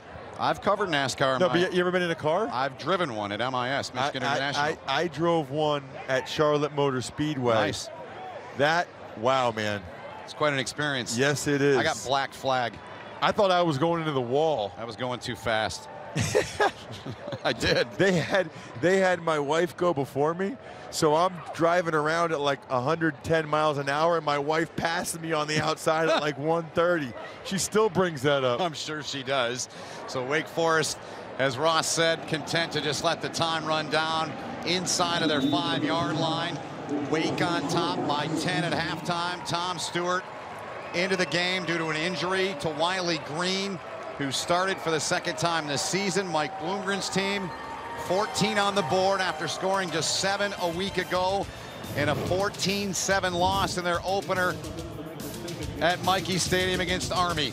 That's the end of the first half with the score. Wake Forest 24, Rice 14. You're watching college football on CBS Sports Network, proudly presented by Geico.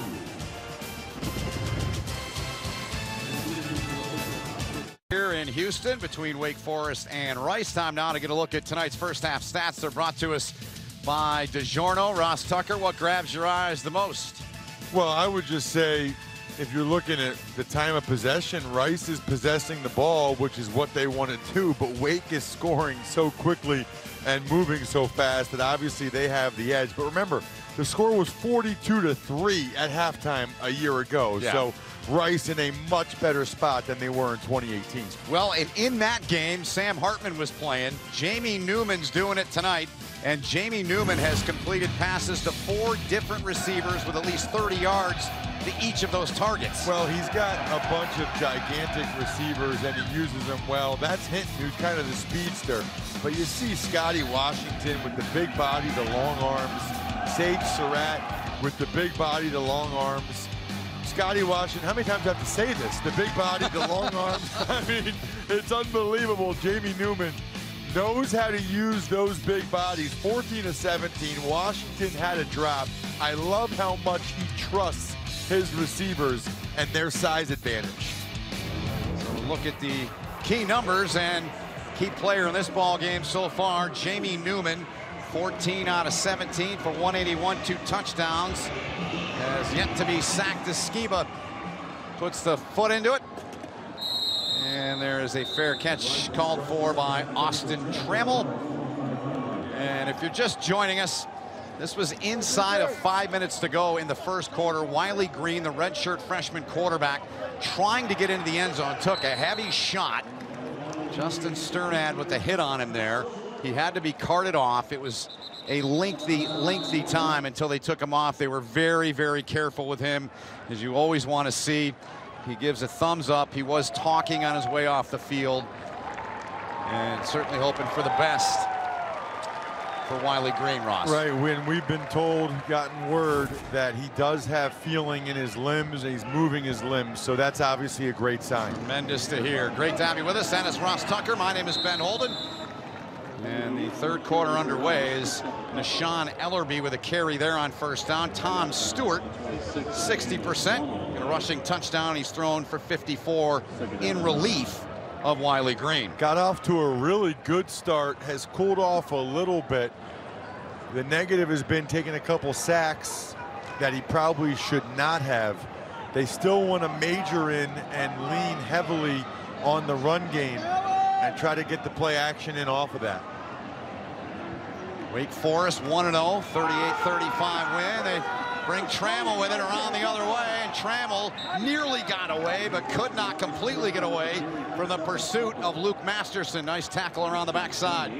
I am really impressed by Nick Leverett, the left guard. Watch the right side of your screen. Leverett out there gets a nice block, as did Chafin, the center. Man, if Masterson doesn't chase that down and make the play, Yeah. Rice would have had a really big game. Masterson has been very impressive, and he, they still have him back there in the back end. He's the rover, Yep. typically, and filling in for Nasir Greer, who had the targeting foul last week, but it's the second half, and they still have him back there. Rice already approaching what they had last week for total plays from scrimmage. They look for Trammell there, incomplete.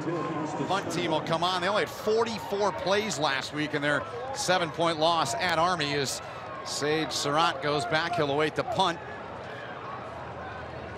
Looks like Barnes has come on. Chris Barnes, former walk-on, now turned captain. Tight end turned punter. Yeah. His first career punt last week, 38 yards. This hit somebody in the back and then deflected by them. And Rice will down this inside of the 20-yard line. Nyaqua down there to touch it at the 18-yard line here in the opening 90 seconds of quarter number three here from Houston, Texas. 53-yard punt. First half possessions for Dave Clawson's guys, Ross. Four out of six scores is pretty good against a defense in Rice that held Army to 231 yards rushing and just 14 points last week. That was the fewest points Army had scored since the opener against Duke last year, and the fewest points they scored at home since 2017. Well, the ball at the 40, they went back and adjusted it. I thought it hit somebody on that far sideline. Now we got a flag down, so it's not at the 18, it's Offside, at the 40. defense number one, five-yard penalty. Still first down. Essang Bassey, the guilty one.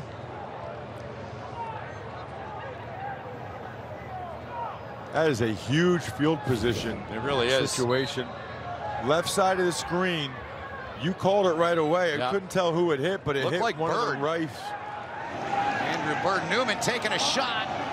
Flag is down, and Washington. Scotty Washington, he had a couple drops earlier. He had a, two or three last week and comes up with it here. There is a flag down, though. Wake Forest has some legit dudes. They really do have I some mean, legit they- their quarterback, Newman, is good, and these receivers maybe don't run quite as well as Offside, defense number 32, penalties decline. Holding, defense number 15, that penalties decline. Result of the play is the first down. You know, maybe they don't run as well as their receiver Dortch last year is with the Jets practice squad right now.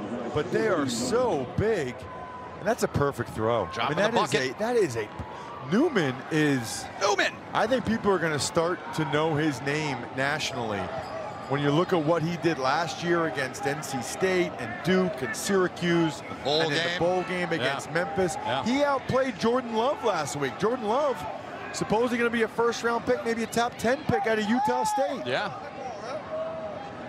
At a career high in yardage, completions, attempts. For a Wake record 401 in a season opener.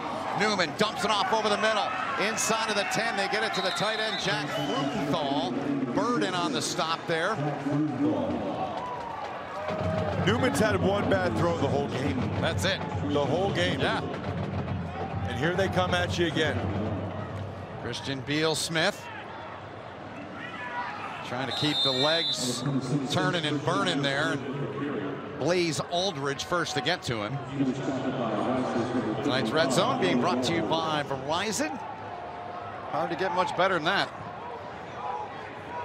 Would be huge if Rice can hold them to a field goal here and keep it a two-score game. It would be for Rice's cause. 10-point lead now. Hand it off. Good job by that front of Rice. We saw that last week. Miles Adams, first time I've called his name tonight, leading the charge there on Beal Smith. Haven't talked about many of the defensive linemen for Rice. Yeah. The veteran Wake front has done a nice job blocking them, but that time they brought pressure from Wake's left side, and Adams made the play. Keep your eye on these big receivers. They like those matchups, back shoulder throws. You got Claude and Surratt to the near side. They go to the tight end at the five. He's wrapped up and wrestled down Treshawn Chamberlain. Third and goal coming up here, Ross. This is a critical play in this game. And when in doubt, Newman has leaned on his big receivers. So you've got Claude at the bottom, Washington and Surratt with Freudenthal at the top. All four are big boys. Third and goal. Knocked down by Rice. There's a flag down, though, in the vicinity of where D'Angelo Ellis and Stephen Claude were. So we'll await the word here from Jonathan Noli. So the ball was tipped, so it should not be interference. There's no foul for the pass tip. interference. The ball was tipped. Fourth down. So Bloomgren's guys, they do hold him. As Alldredge got his right paw on that one. And Sciba will trot on to try a field goal. That's a big stop there Big by time. Rice. Yep, you're right. They needed to try to stay within two scores there. Nice job by Alldredge to get that big right hand up. Connected from 26 earlier. This one from 23. It's a tough angle right there. It really is from that left hash. He's made 13 straight field goals going back to last year. And add another one, bullseye. 14 straight for Sciba, sophomore out of Clover, South Carolina. So Bloomgren's guys give up points, but they don't give up a touchdown. 13-point game. Our last slide there about co-signing agreement. Field. 27-14 our score. Wake Forest and Rice meeting for the fourth time all time. Series tied at 1, 1 and 1. There will not be a tie tonight. It's a good thing these schools play each other, I think. You know, they're both high academic, small, private schools. Wake has 5,000 students. Rice has 4,000 students. Yeah. Trying to attract the same type of student athletes makes sense. Austin Trammell on the return. Trammell, good one out close to the 25-yard line as Justin Strnad forced him out of bounds there. So Tom Stewart and the Rice offense will huddle up around Bloomgren. You kind of get the sense, even though it's early in the third quarter, Ben, that Rice needs to do something with this drive. Yes. Wake is scoring fairly frequently. It's been a while since Rice was able to put some points on the board and get on the move. Charlie Booker, It's an all Harvard backfield. all here. Harvard backfield. Very high IQ in that backfield. Booker coming back from an injury. Decent pickup there. Traveon Redd with a stop there. I'm not going to lie, as a as a Princeton alum, I knew it was coming. I'm, I'm glad these guys are wearing, you know, Rice colors rather than Harvard crimson right now. glad they're not playing against the orange and black this year. That's right. Booker. I'm happy for him, by the way. You know, you Yep. go to a place like Harvard, they graduated, Yep. they had a year of eligibility left. They wanted to test themselves at the FBS level, start to take some grad classes. I think it's cool. Yep. Stewart from Dallas. Booker right here from Houston. It's out over the 30-yard line, wrapped up by Essang Bassey down low. Third down coming up for Stewart in the Owl offense. This is where they want to be. Third and four. You can still run it if you have to. I don't think that they will. They're bringing in a bunch of receivers. The key here is for Stewart to get the ball out of his hands quickly. They need four. Trammell is in the slot to the right. That's the guy they want to go to. Pete Right out there. wide, yep. Austin Pete, three catches in the first half. Stewart, plenty of time. Now the pocket collapses, steps out of it, fires. The pass is incomplete. And unable to come up with that grab out across the 40-yard line was August Pete. Fourth down coming up. He wanted Trammell, but well, Tra- he was well covered. He was looking at Trammell all the way, but they were all over him. Third three and out for Rice. There's Sage Surratt. Surratt, I mentioned earlier, the only Mr. Basketball and Mr. Mr. Football, Football. in the of North Carolina. Let me just tell you, Ben, if that was me, I would wear a T-shirt every day that said, I'm, I'm Sage Surratt, State Player of the Year in football and basketball, only guy ever. Makes the fair catch there with 9.50 to go in the quarter as Nunez sends that one down inside of their territory. And we'll take a timeout. Still a 13-point lead for Wake Forest. And natural disasters like Hurricane Dorian. You can visit redcross.org for more information. Feel for those in the Bahamas. Devastated down there. Thankfully, the storm, for the most part, stayed away from the continental United States. So Wake has scored, Ross, on five of their seven drives. They've got the football back here once again. They'll begin this drive from the 28-yard line. Scotty Washington is the receiver at the bottom here. Kenneth Walker in the backfield. Kenneth Walker got out of there before they got to Newman on that mesh point. Blaze Alldredge made the stop on Walker, and you've been talking about it. It's the theme, certainly, with this Wake team. They got height. 6'5", 225, 6'3", 215. All great looking physical kids, and you need that in the ACC. Uh, They don't really have the speed of some of the teams they go against, but they're able to make up for it with the size. Yeah. You know, even when Washington and Surratt especially are covered, they're still open and wouldn't be surprised if Newman throws it to one of them here on third down. They've got another one on their two deep. A.T. Perry not in action that we've seen. He's 6'5", too. There's Surratt over the middle of the grab. Stopped there by Calderon, but it's a first down for Wake Forest. Watch Surratt, he runs a little curl route, middle of the field. They do such a nice job of squaring up to the quarterback, showing him a target. And it is a big target. Gain of 11 on the pass play. Kenneth Walker finding a seam left side. Good pickup there, about five, maybe six on the run. Watch how slow they are on these mesh points. Patient. I mean, he's like chopping his feet. Walker's chopping his feet for a few steps and then he explodes. Right. Once again, they do the same thing to Walker. And, and you brought that up with their offensive coordinator, Warren Ruggiero, yesterday. What, what take away from what he told you in regard to that? Well, they, they're usually reading somebody, so watch how long they hold there. I mean, Walker's not even running. He's just taking a step or two forward. It, almost every run reminds me of like a Le'Veon Bell run. Yeah. The patient former Steelers with the Jets now. Here's Newman trying to drop one into the bucket for Washington. And the coverage down there by D'Angelo Ellis may have got a piece of that one. There's an injured Wake Forest offensive lineman. There is, back around the 45. Oh, that still should have been caught. Ellis got his hand in there, but Washington should have caught that. Justin Herron, who has had injury problems in his career. He's back for his redshirt season. With 8.02 left here in the quarter. He is the left tackle Yep. captain. You absolutely don't want to see this. Six-year guy right there. Let's take a look and see Yeah. if we can see anything. Tore his ACL a year ago. In their opener at Tulane. It's a nice job there. Oh, he steps Stepped on him.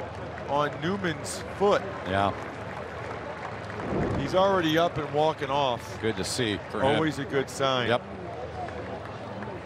You know, he came back for a sixth year. That's how much he loves it. Yeah. He was really one of the first big recruits that Wake got. He was committed to Rutgers. Yes. They got him to flip to Wake Forest. He wanted the academics, and they're so proud of him mm-hmm. because he's a guy that, you know, they, they, they weren't sure how well he would do academically early, and here he's already graduated, double major. Pretty really impressive. exactly what they're looking for from a Wake Forest football player in this program. Out of the gun. Walker gets it, and nice job staying home there by Blaze Alldredge. He was not fooled at all there. He was patient, and then he was downhill. Watch Alldredge right there, left side of your screen. Patient, patient. I see them go. Yep. I love that. Yeah. Patient, patient. Oh, I see it. I'm going. I'm going to go hit it. Well done by Alldredge. Third and 12, big play here for both teams. Newman fires, looking for Claude, incomplete. So the Rice defense, they bow up. Naeem Smith out there on the coverage. Nobody was really open. They needed to throw it deeper down the field. So Newman trying to get into a really tough window there to Claude with Smith having outstanding coverage. Saw Brian Smith in the green polo shirt. He's Rice's defensive coordinator in his second year. He's impressive. He is. Couple of years at Michigan under Don Brown as their safeties coach. Maggio boots it away. Can he pin him? Gonna try. Yeah, touchback. Came close, but couldn't quite do it. The veteran. So Rice will get it back from the 25-yard line, down by 13. 7.21 to go in the third.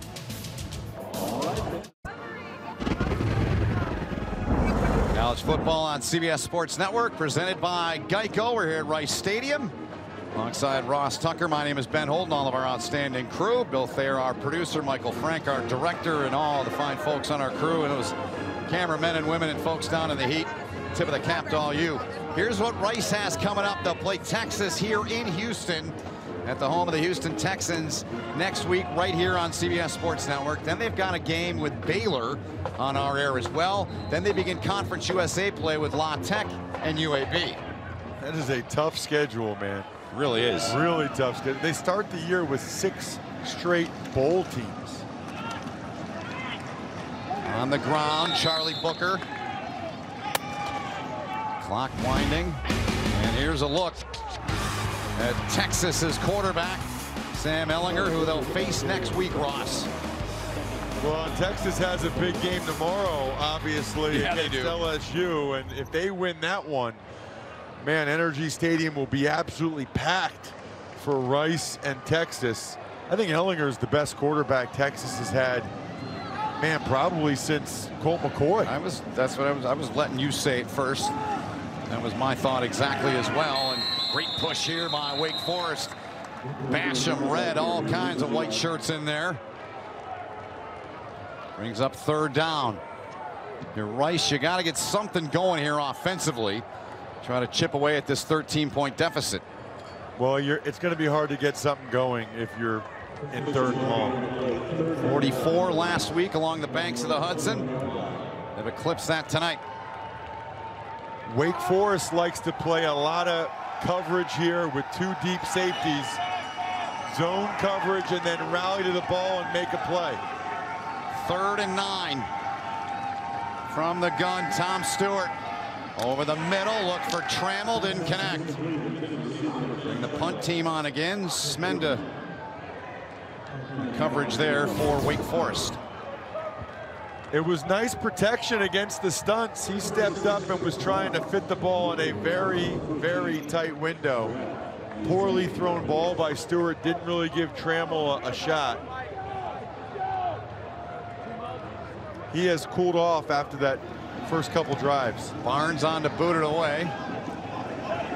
It's a good roll. Surratt gets away from it, and Rice will down it. 29 yard line. Under six to play in the third quarter. Still a 13 point lead for the Demon Deacons of Wake Forest.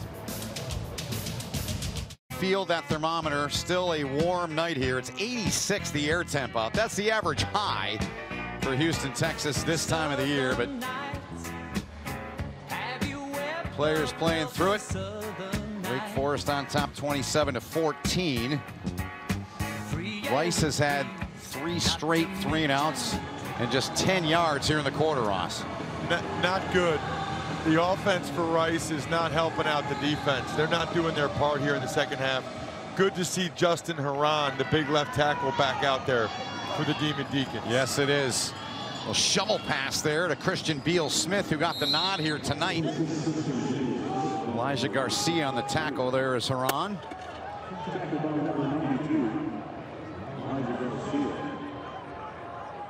You see him back in there, as you said. Gain of three. Newman looking to the air. Now looks this way. Got a man open as Christian Beal Smith gets over the 40 yard line. He'll move the chains, forced out by D'Angelo Ellis. Starting to wonder with this heat and three straight three and outs if the Rice defense is getting tired. They've rotated some guys in. Yep. Might have just been the three-man rush, but they're not getting any pressure right now. Newman taking a shot. Washington down there. Washington's got it. Scotty Washington's got it. And Scotty Washington takes it in. Touchdown. 59 yards on the strike from Newman. Hello, Newman. Cannot imagine how fun it is to be a six foot five receiver with crazy long. I mean, watch this. Newman just throws it up. Scotty has a step on him, Huh. reaches up. D'Angelo Ellis had perfect coverage, Yeah. reached out. Watch, watch 12, puts his right arm up there. That is just a huge human being who is significantly bigger and stronger than D'Angelo Ellis. Wow. Wake's receivers are fun to watch. They are. Nick Sciba to try to tack on the point after making a 20-point game, and he does just that right into the bullseye in the net. So Washington, solid night. Newman's on the phone again. We look back here, Ross. I don't know what you say. Look, he put his right arm in between Scotty Washington's two hands. He's not able to go up there and high point the ball like Washington is. So you need to try to rake the ball out on the way down. Newman's fired up and he should be. Must be fun to be able to throw the ball up to those guys. And look at Naeem Smith. Yeah. If we had a thought bubble above his head, it'd be like, man, these guys are big. I mean, on some of these, Ben, I really don't know what the coaching point is from the Rice coaches. Like, hey, that dude's four inches taller than you. Uh, try to, I mean, more than four inches taller. D'Angelo Ellis is 5'11", and Scotty Washington's 6'5", so he's got six inches on him. Makes it really hard. You play basketball, Ben? I did back in the day. I could shoot. All right, so I played basketball, and I was like six four and a half. I was pretty good till I went up against a dude that was six nine, and I got killed. I, his name was Joey Linderman. He got a full scholarship to Drexel. I could usually score. I was pretty good till I had a six nine guy covering me, Yeah. and I couldn't do anything. Yeah. You got a guy that's five inches taller than you. You got major problems. And Scotty Washington, six inches taller than D'Angelo Ellis. Washington, seven grabs, career high 158 yards, and a career high two touchdowns. Fair catch called for by Austin Trammell. Rice will have it first and 10 from their own 25. We'll see what Bloomgren tries to get his team doing here. As they now trail by 20 points. If they can find a way to put a drive together, this third quarter has not been good at all for them. So they want to try to keep the ball on the ground, but at this point now down Yeah. 20, and they're not having success with the first and second down runs. They're going to have to put this game in Stewart's hands and see what he can do. This is not their strength, but the offensive line is better than they were a year ago. Stewart comes out firing. Rozner's got it. Just shy of the 30. Broke a tackle. And Brad Rozner, one of their JUCOs they brought in. Three of those junior college transfers. Big first down for him. Rozner, bottom of the screen, is just a comeback route. Breaks the tackle of Richardson. He's physical. We saw that when he was blocking. Now we see that when he gets the ball. He's 6'5", 190 pounds. So Rice says, hey, we got some big receivers too. Yep. Rozner led junior college wideouts receivers with 13 touchdowns a year ago. From the 45. Stewart tries the other way. The pitch and the catch from Rozner again on Amari Henderson, who he got away from on the other side on the last play. I'm picturing Jerry Mack, the OC for Rice, watching all of these big plays by Wake's big receivers, saying, you know what? We got a couple. We got a guy that's 6'5". Let's throw it to him. And seems like it, it's working, and back-to-back plays it is. Sean Ellerby lined up in the backfield. You get a look there at Rozner. Ellerby next to Stewart. Under four to play in the third quarter. Stewart, time, looks, fires, and Myers was there, and he was rocked off the ball by Essang Bassey. Second 10 coming up. I like the way Bassey got his head out of it and used his shoulder and, and had the target low. Watch Bassey. Shoulder and in the midsection. That's what everybody's looking for in the sport of football these days. Try to keep the head out of it. Don't deliver a blow to the head or neck area. You can tell Bassey has been well coached, well trained. He lined him up, got the Bassey last year in the Wake win had a 51-yard fumble return for a touchdown, his second career touchdown. Cameron Montgomery, they try him on the ground, going nowhere.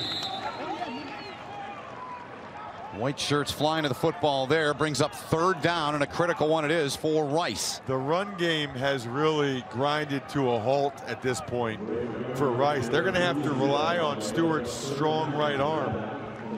And this has got to be four down territory. You're down 20 points at the 41 yard line. Yeah.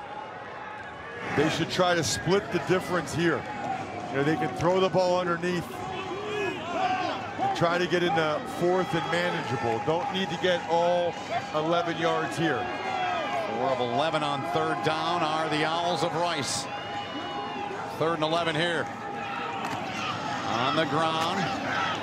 Montgomery with it again. That'll work. They did what you said. They knew they were going for it. Yep. That's a big part of going for it on fourth down is knowing about it on third down so you can make the play call with that in mind. Stewart to the wristband came in if you're just joining us late in the first quarter when Wiley Green, Mike Bloomgren's starting quarterback, had to be carted off. Fourth and five. They need the 30. Wake has no automatic check here against the empty set. Yep, five wide for Stewart. Stewart steps up, fires, catch is made, first down Rice. Bloomgren dialed up the right play there as August Pete made the grab. They came with pressure off the edge. This offensive line's done a nice job Yeah. in pass protection. And Stewart, he's got an arm, man. When he steps into it with that big right arm, he can put it on people. This is exactly what Rice needed after the big play by Scotty Washington. Cameron Montgomery now in the backfield. He gets it trying to cut back and wasn't much to cut back to is getting in there quickly and getting on him was a nose tackle Dion Bergen Jr. You can tell that the Wake defenders are still playing run first. Guys like Masterson and Strnad were downhill. Bergen Jr., the strongest player on the team. He is in the 1,500 pound Saw club. that. That is for squat, bench. I don't know at their school if they do deadlift or power clean, but 1,500 pounds. That hurts my back at this age just thinking about it. Eight play drive. Pitch and catch by Austin Trammell. Under 60 seconds remaining here in this third quarter. Rice looking to put one in the end zone here and trim a 20-point deficit. Third and eight upcoming. And again here, Ben, I'm, I'm thinking four down territory because you're down 20. A field goal puts you down 17. That doesn't help you. It's still three scores. So make the play call here, knowing you're going to go for it on fourth down if you don't get it because a field goal doesn't really help you. Yeah, and Will Harrison missed two last week, but I'm with you. More than that, you want the touchdown at this point. Blitz coming by Redd, and that play is going to be blown dead. Smenda pressured in there, and Bothroyd had the football running back the other way, saying, Rolling not so field is an fast. incomplete Mendes pass. up at the top for Redd right there. The other guys are going to drop out. The other two linebackers drop out. Redd comes off the edge unblocked. Yeah, it was off the turf. Totally blew up the screen there. He's lucky he didn't get a penalty for tossing Stewart down there at the end of that play. He is. So 22 seconds remain.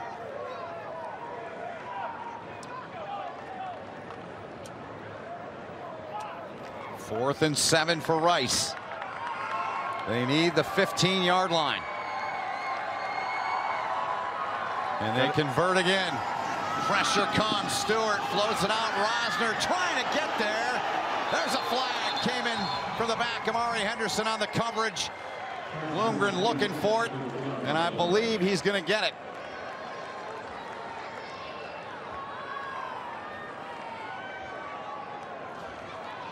The safety was really on the hash, so it was going to be tough for him to get over and be a part of that.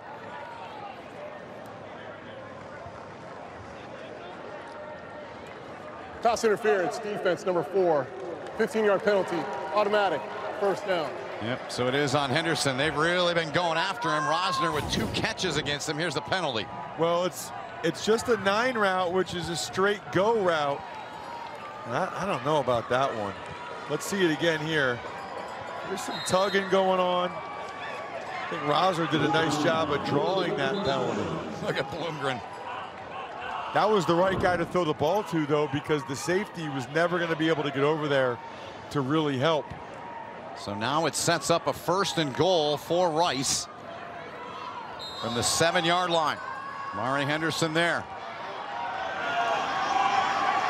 Trammell up top. Cameron Montgomery behind Regan Williams, the fullback. Man-to-man coverage, top and bottom, really. They give it to Williams, the bruiser out of Ohio. Grad transfer from Stanford. And we're under 10 seconds remaining in this third quarter. That'll be the final play of the quarter. We'll head to the fourth. Rice will have its second and That's the end goal the third quarter. as they trail by 20. That's the end of the third quarter with the score. Wake Forest 34, Rice 14. Great to have you with us tonight. You're watching college football on CBS Sports Network.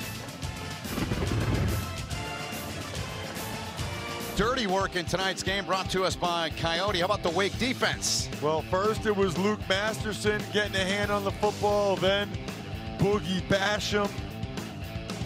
Not always going to get sacks or interceptions or even hits on the quarterback. Got to find a way to make a play and help your team anyway. Masterson and Basham doing the dirty work. They are indeed. And Rice so far on this drive as we start the fourth with Ross Tucker. My name is Ben Holden, all of our great crew. Hope you're enjoying the broadcast. 10 plays, 69 yards, 504 as Nahshon Ellerbe, the deep back behind Williams, the fullback. Rolling out is Stewart, trying to cut back. He's already got a rushing touchdown, trying for another. And he comes up a little shy as Boogie Basham got him down around the ankles. He wanted Myers in the flat initially, number seven. That's what he had. Put it on right there. Thought he should have thrown it to Myers in the flat right away. Injured Wake Forest player down on the field. Traveon Redd. Traveon Redd, yes. And Redd is starting at Rover tonight because Masterson is at safety because Nasir Greer was out for the first half with a targeting penalty Yep. from last week against Utah State. Now Nasir Greer is in the game, number three.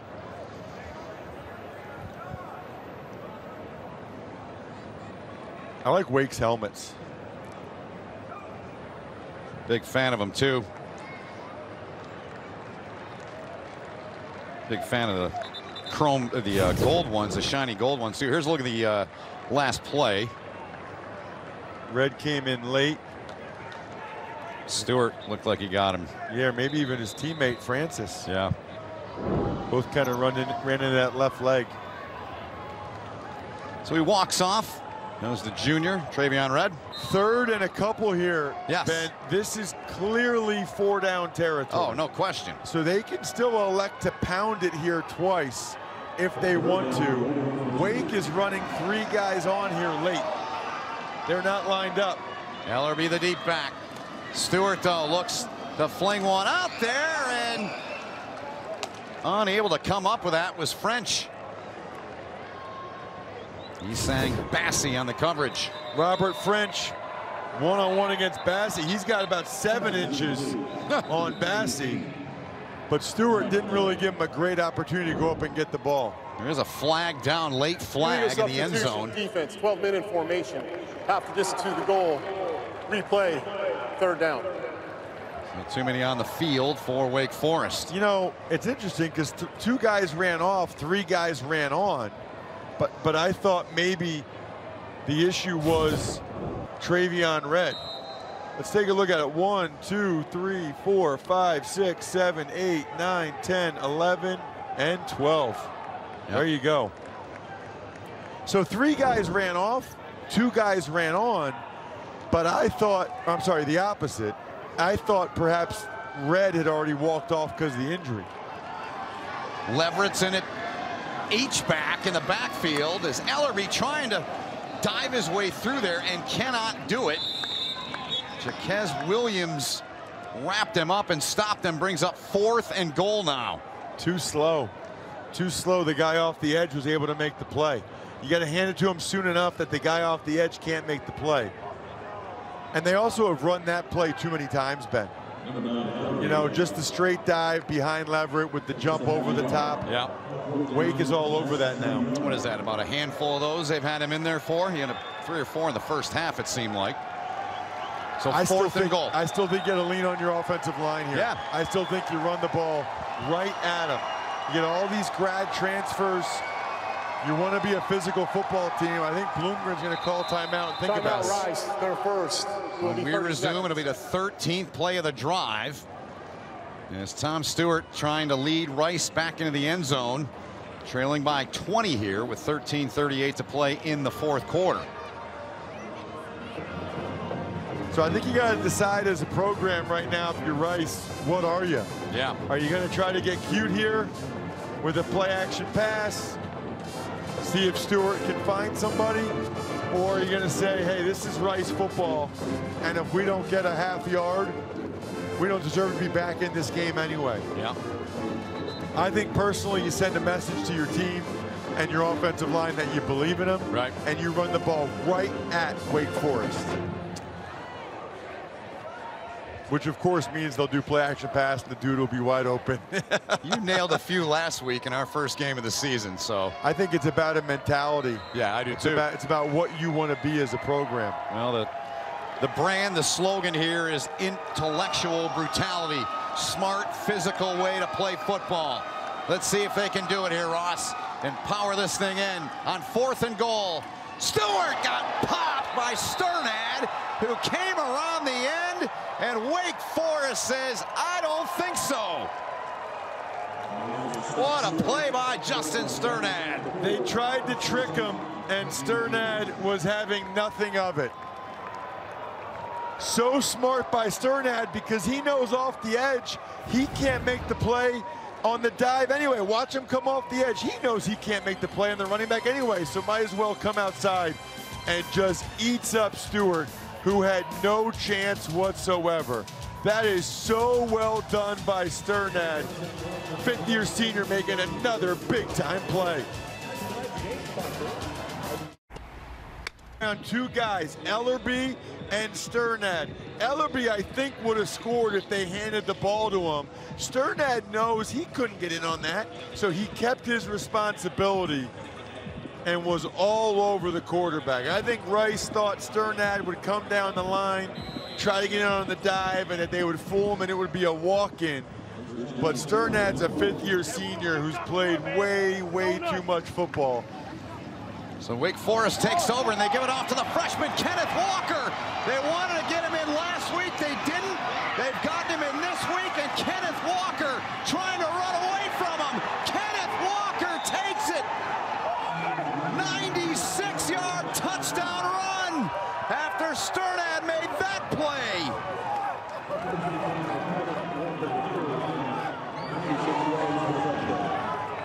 That's a wow. That's a couple. He is a freshman who the coaches told us they wanted to give him a little more playing time, and with Cade Carney out, this was a perfect opportunity to give him some playing time.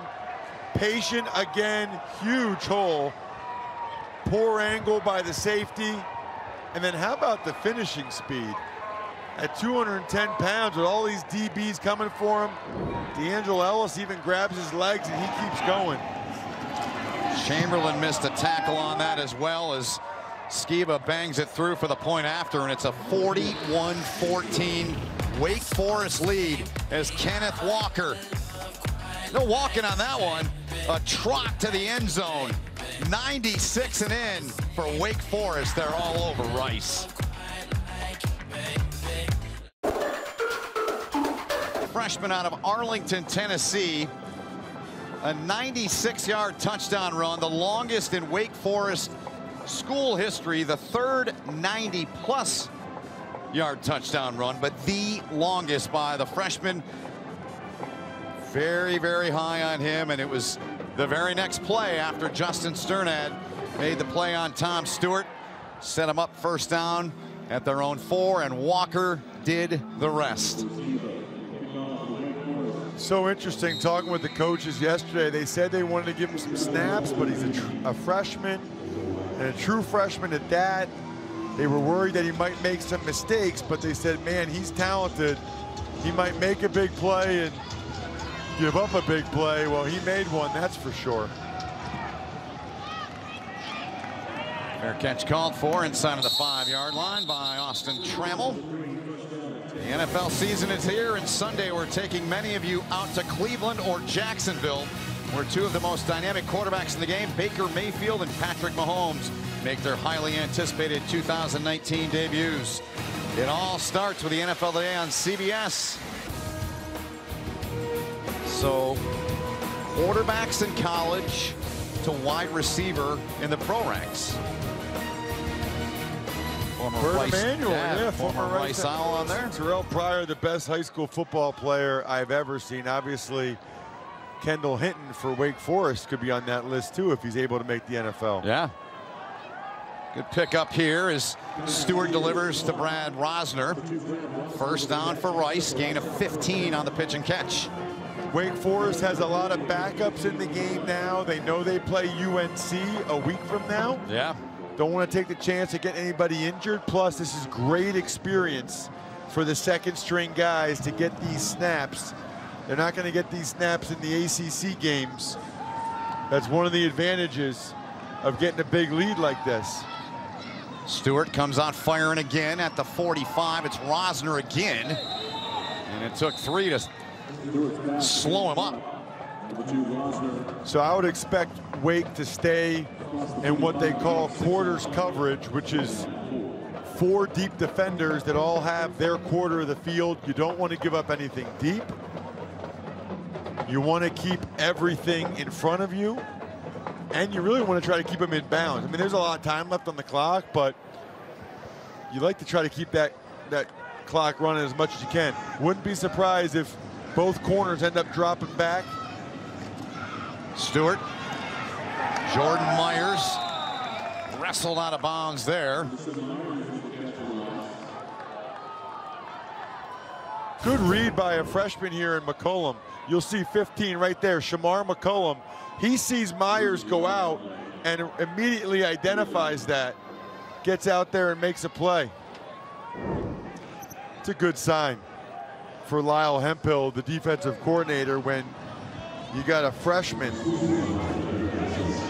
his first, making a play like that. Sorry, his first full season at Wake Forest as their defensive coordinator. Five games into last year, he took over. And Henderson, who they picked on on the last drive, broke that one up nicely, brings up fourth and six for Rice. Stewart very fortunate that that was not intercepted. Rice going to punt it away here. Yeah.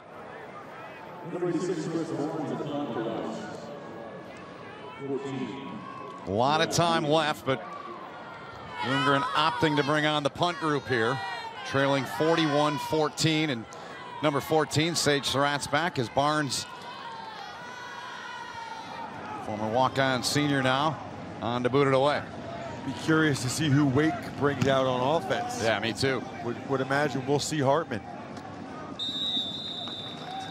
Fair catch made by Sage Surratt and Jamie Newman up on the marquee.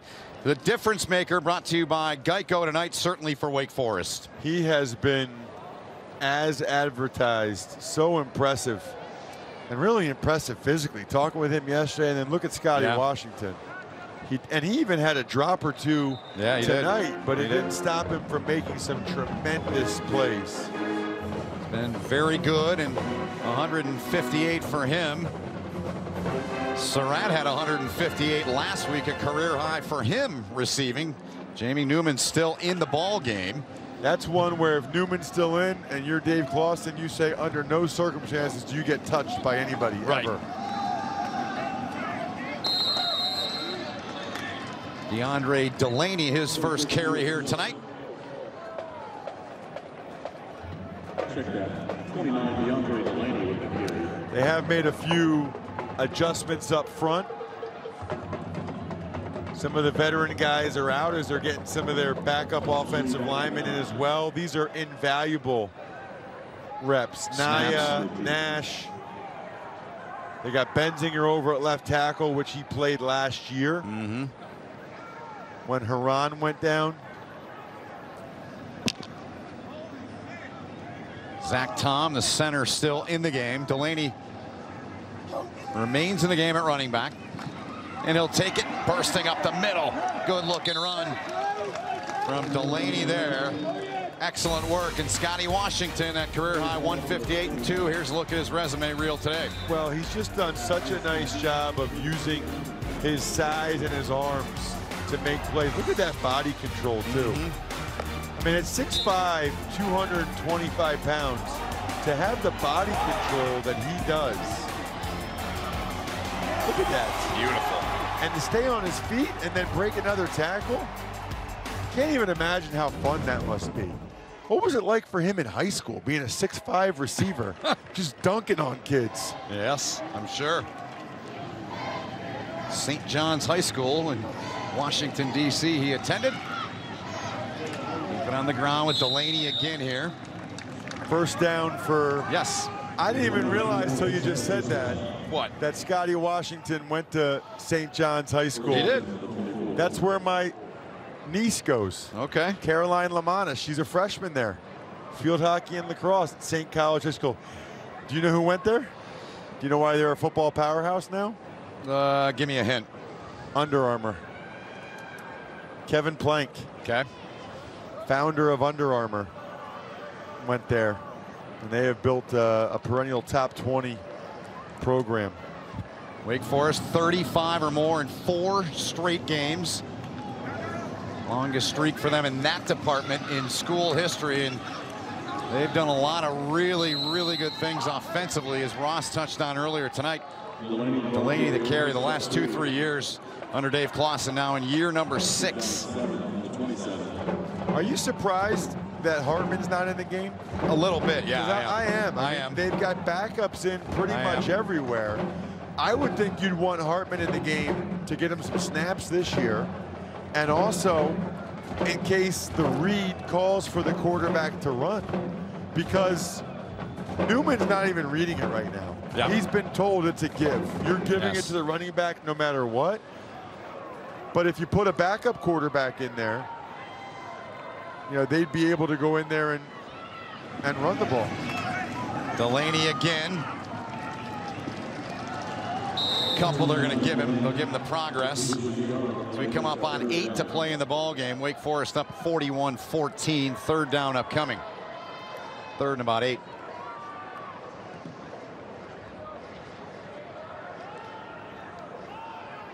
Delaney got into eight games last year, had 89 plays to his credit. And there's Sam Hartman, who in his debut last year on right here on CBS Sports Network absolutely lit it up. Everything about that kid's awesome right there. The mustache, Yep. the haircut. Yeah. He's got his his belly out.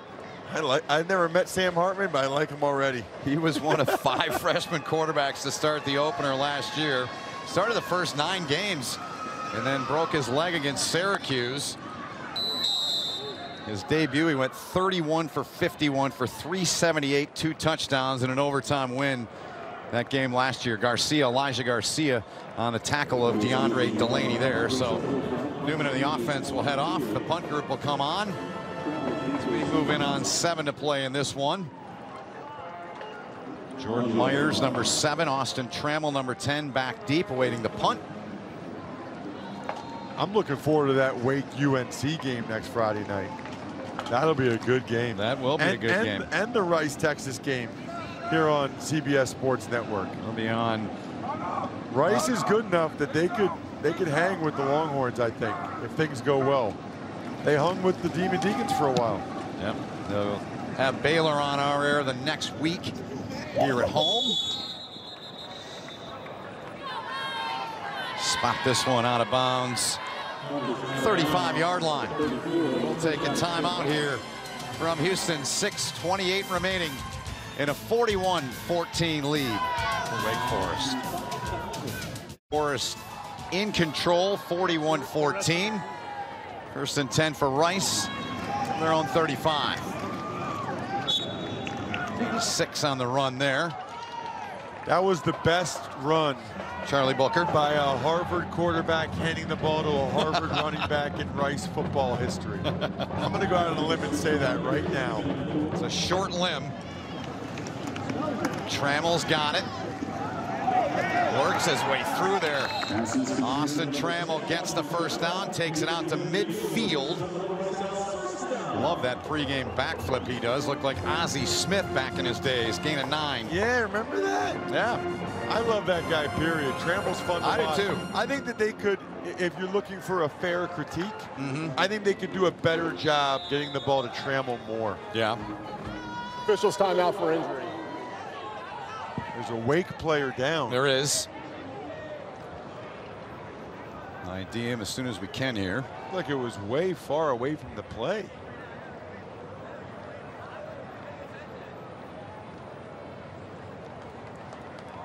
As a reminder, Wake has a lot of backups out there. It's pretty much second string guys across the board. Yeah.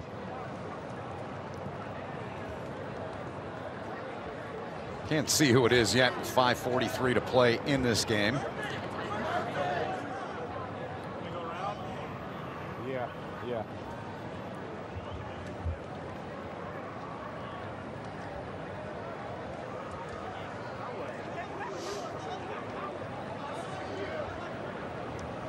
When's the first time they had those matte helmets like that?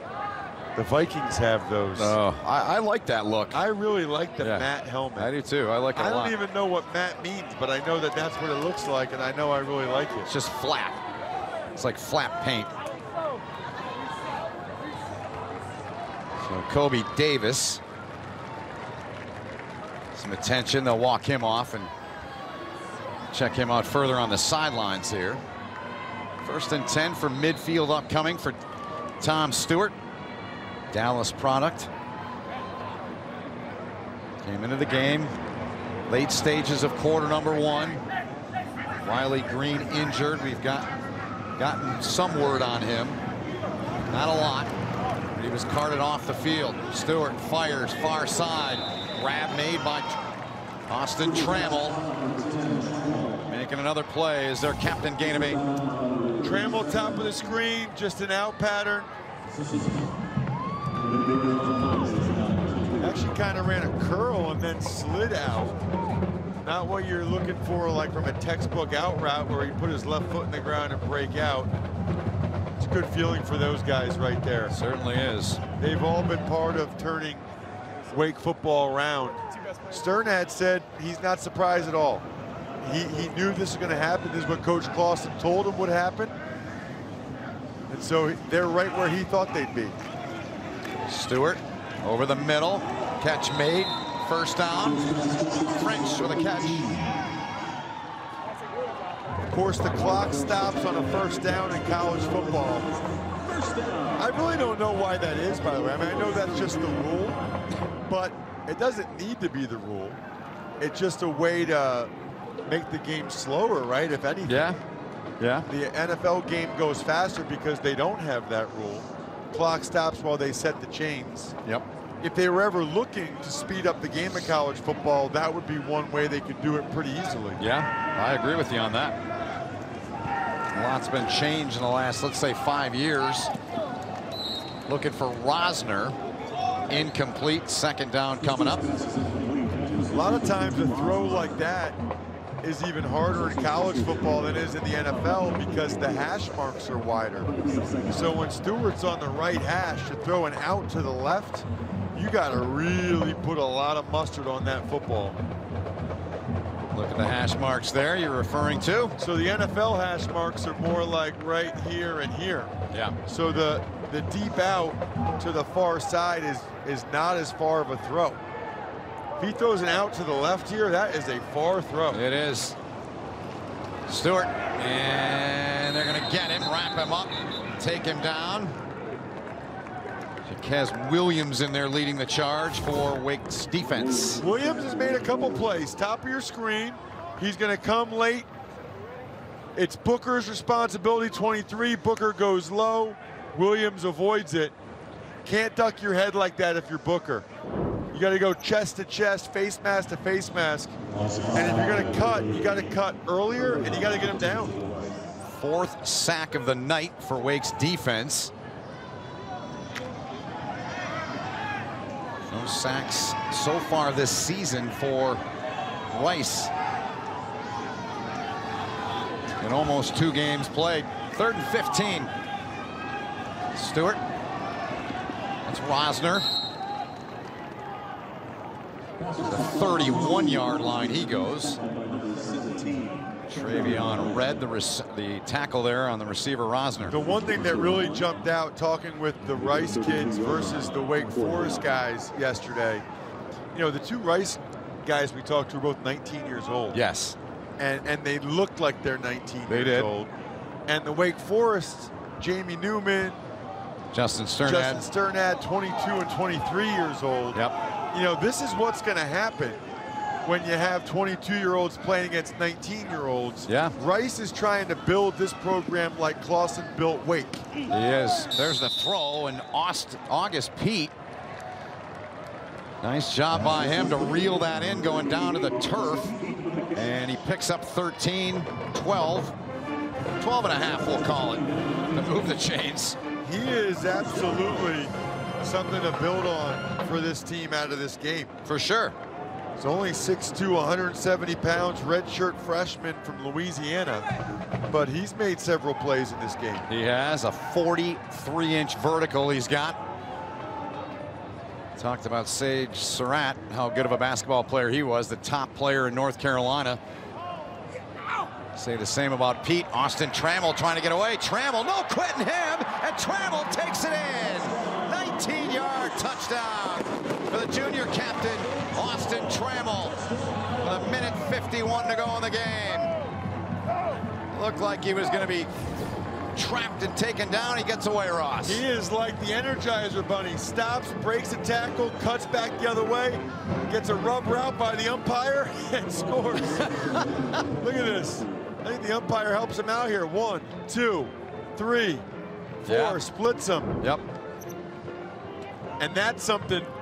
No that quitting Coach him. Bloom- right, and that's something No Coach quit. Bloomgren will show the team tomorrow. He'll say, Absolutely. look, even though we were down, we want to be just like number 10. Rice fight never dies. We're pretty different. One 20-point lead for Wake Forest on top of Rice. And coming up next, join CBS Sports Network in the studio in New York as our team of experts break down all the matchups going on around the nation. It's Inside College Football on the 24-hour home of CBS Sports. So Rice gets it to a 20-point game. Nine plays, 65 yards, took 407 on the 19-yard touchdown reception by the young man there with a headband on, Austin Trammell, their junior captain. No quitting his game. Like you said, I loved what you said going to break there. Well, that's the motto. Rice has two, intellectual brutality and Rice fight never dies. And Yep. that's something that Coach Bloomgren will build on and feel really good about. Fair catch called for the five-yard line by Christian Beal Smith and Wiley Green started this game. Their redshirt freshman quarterback out of Plano, Texas. He was carted off the field with less than five minutes to go in the opening quarter. The last and only update we've been given at this point is he is has feeling in his extremities, so that is some good news. That's all we have at this point. But that's what we were told from the Rice folks at this point in time. So we wish him the best in whatever he has to do to, to get better. Absolutely. And in comes Tavon Bowers to play quarterback. He's really the third string quarterback Yeah. for Wake Forest. And he hands it off. They're just going to chew up this clock here. Yeah, two things, Ben. Number one, Bowers went to Bishop McDevitt High School in Harrisburg, Pennsylvania.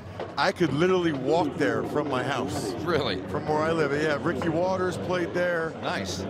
LeSean McCoy. And what this tells me, or at least a possibility, I don't know this, but perhaps they're hoping to be able to redshirt Hartman this year, right? I mean, Could be. they're not going to use him unless Newman were to get hurt and they needed him. But in a situation like this, you play Bowers, Yeah. and maybe you save a year of eligibility for Sam Hartman. Why waste a year of eligibility Yeah. for Hartman for, for, for end of the game duty like this? Yep. Final minute to play in this one. Wake in control, and they're going to get out of town here with a victory down here in Houston. They'll play again. They'll have their third straight Friday night game against North Carolina next week. Final line on Jamie Newman. So much respect for that young man. Yep. You know, he last year he's a redshirt sophomore, and he loses the job To a true to a freshman. True freshman, and nowadays that's like automatic transfer portal. That's Right, automatic. right, right, I'm right. transferring. I'm Yeah. out of here. He said he never considered it, never thought of it, thought his time or opportunity would come again at some point, Yes. and it did after Hartman went down, and Yep. he took it and ran with it. Should be the final snap of the game here on third down. And Wake Forest will improve to 2-0 with a 20-point win here tonight against Rice. The Owls drop to 0-2. Dave Clawson, first road test of the season for his guys, and they pass it. Their fourth straight win on the road, the most in 13 years. Two coaches with a conversation there, and you touched on it. Clawson did it at Wake. Built them back into a team that they win bowl games. They win big games. And Mike Bloomgren trying to do that here at Rice. I thought it was the ultimate compliment he gave, just talking about how into it the Rice kids were last week against Army on the sideline. Our final score, Wake Forest 41, Rice 21. For Ross Tucker, all of our crew, my name is Ben Holden. Hope you enjoyed the broadcast. It's been a presentation of CBS Sports Network, the 24-hour home of CBS Sports. Now to New York City for Inside College Football with Brent Stover and the guys.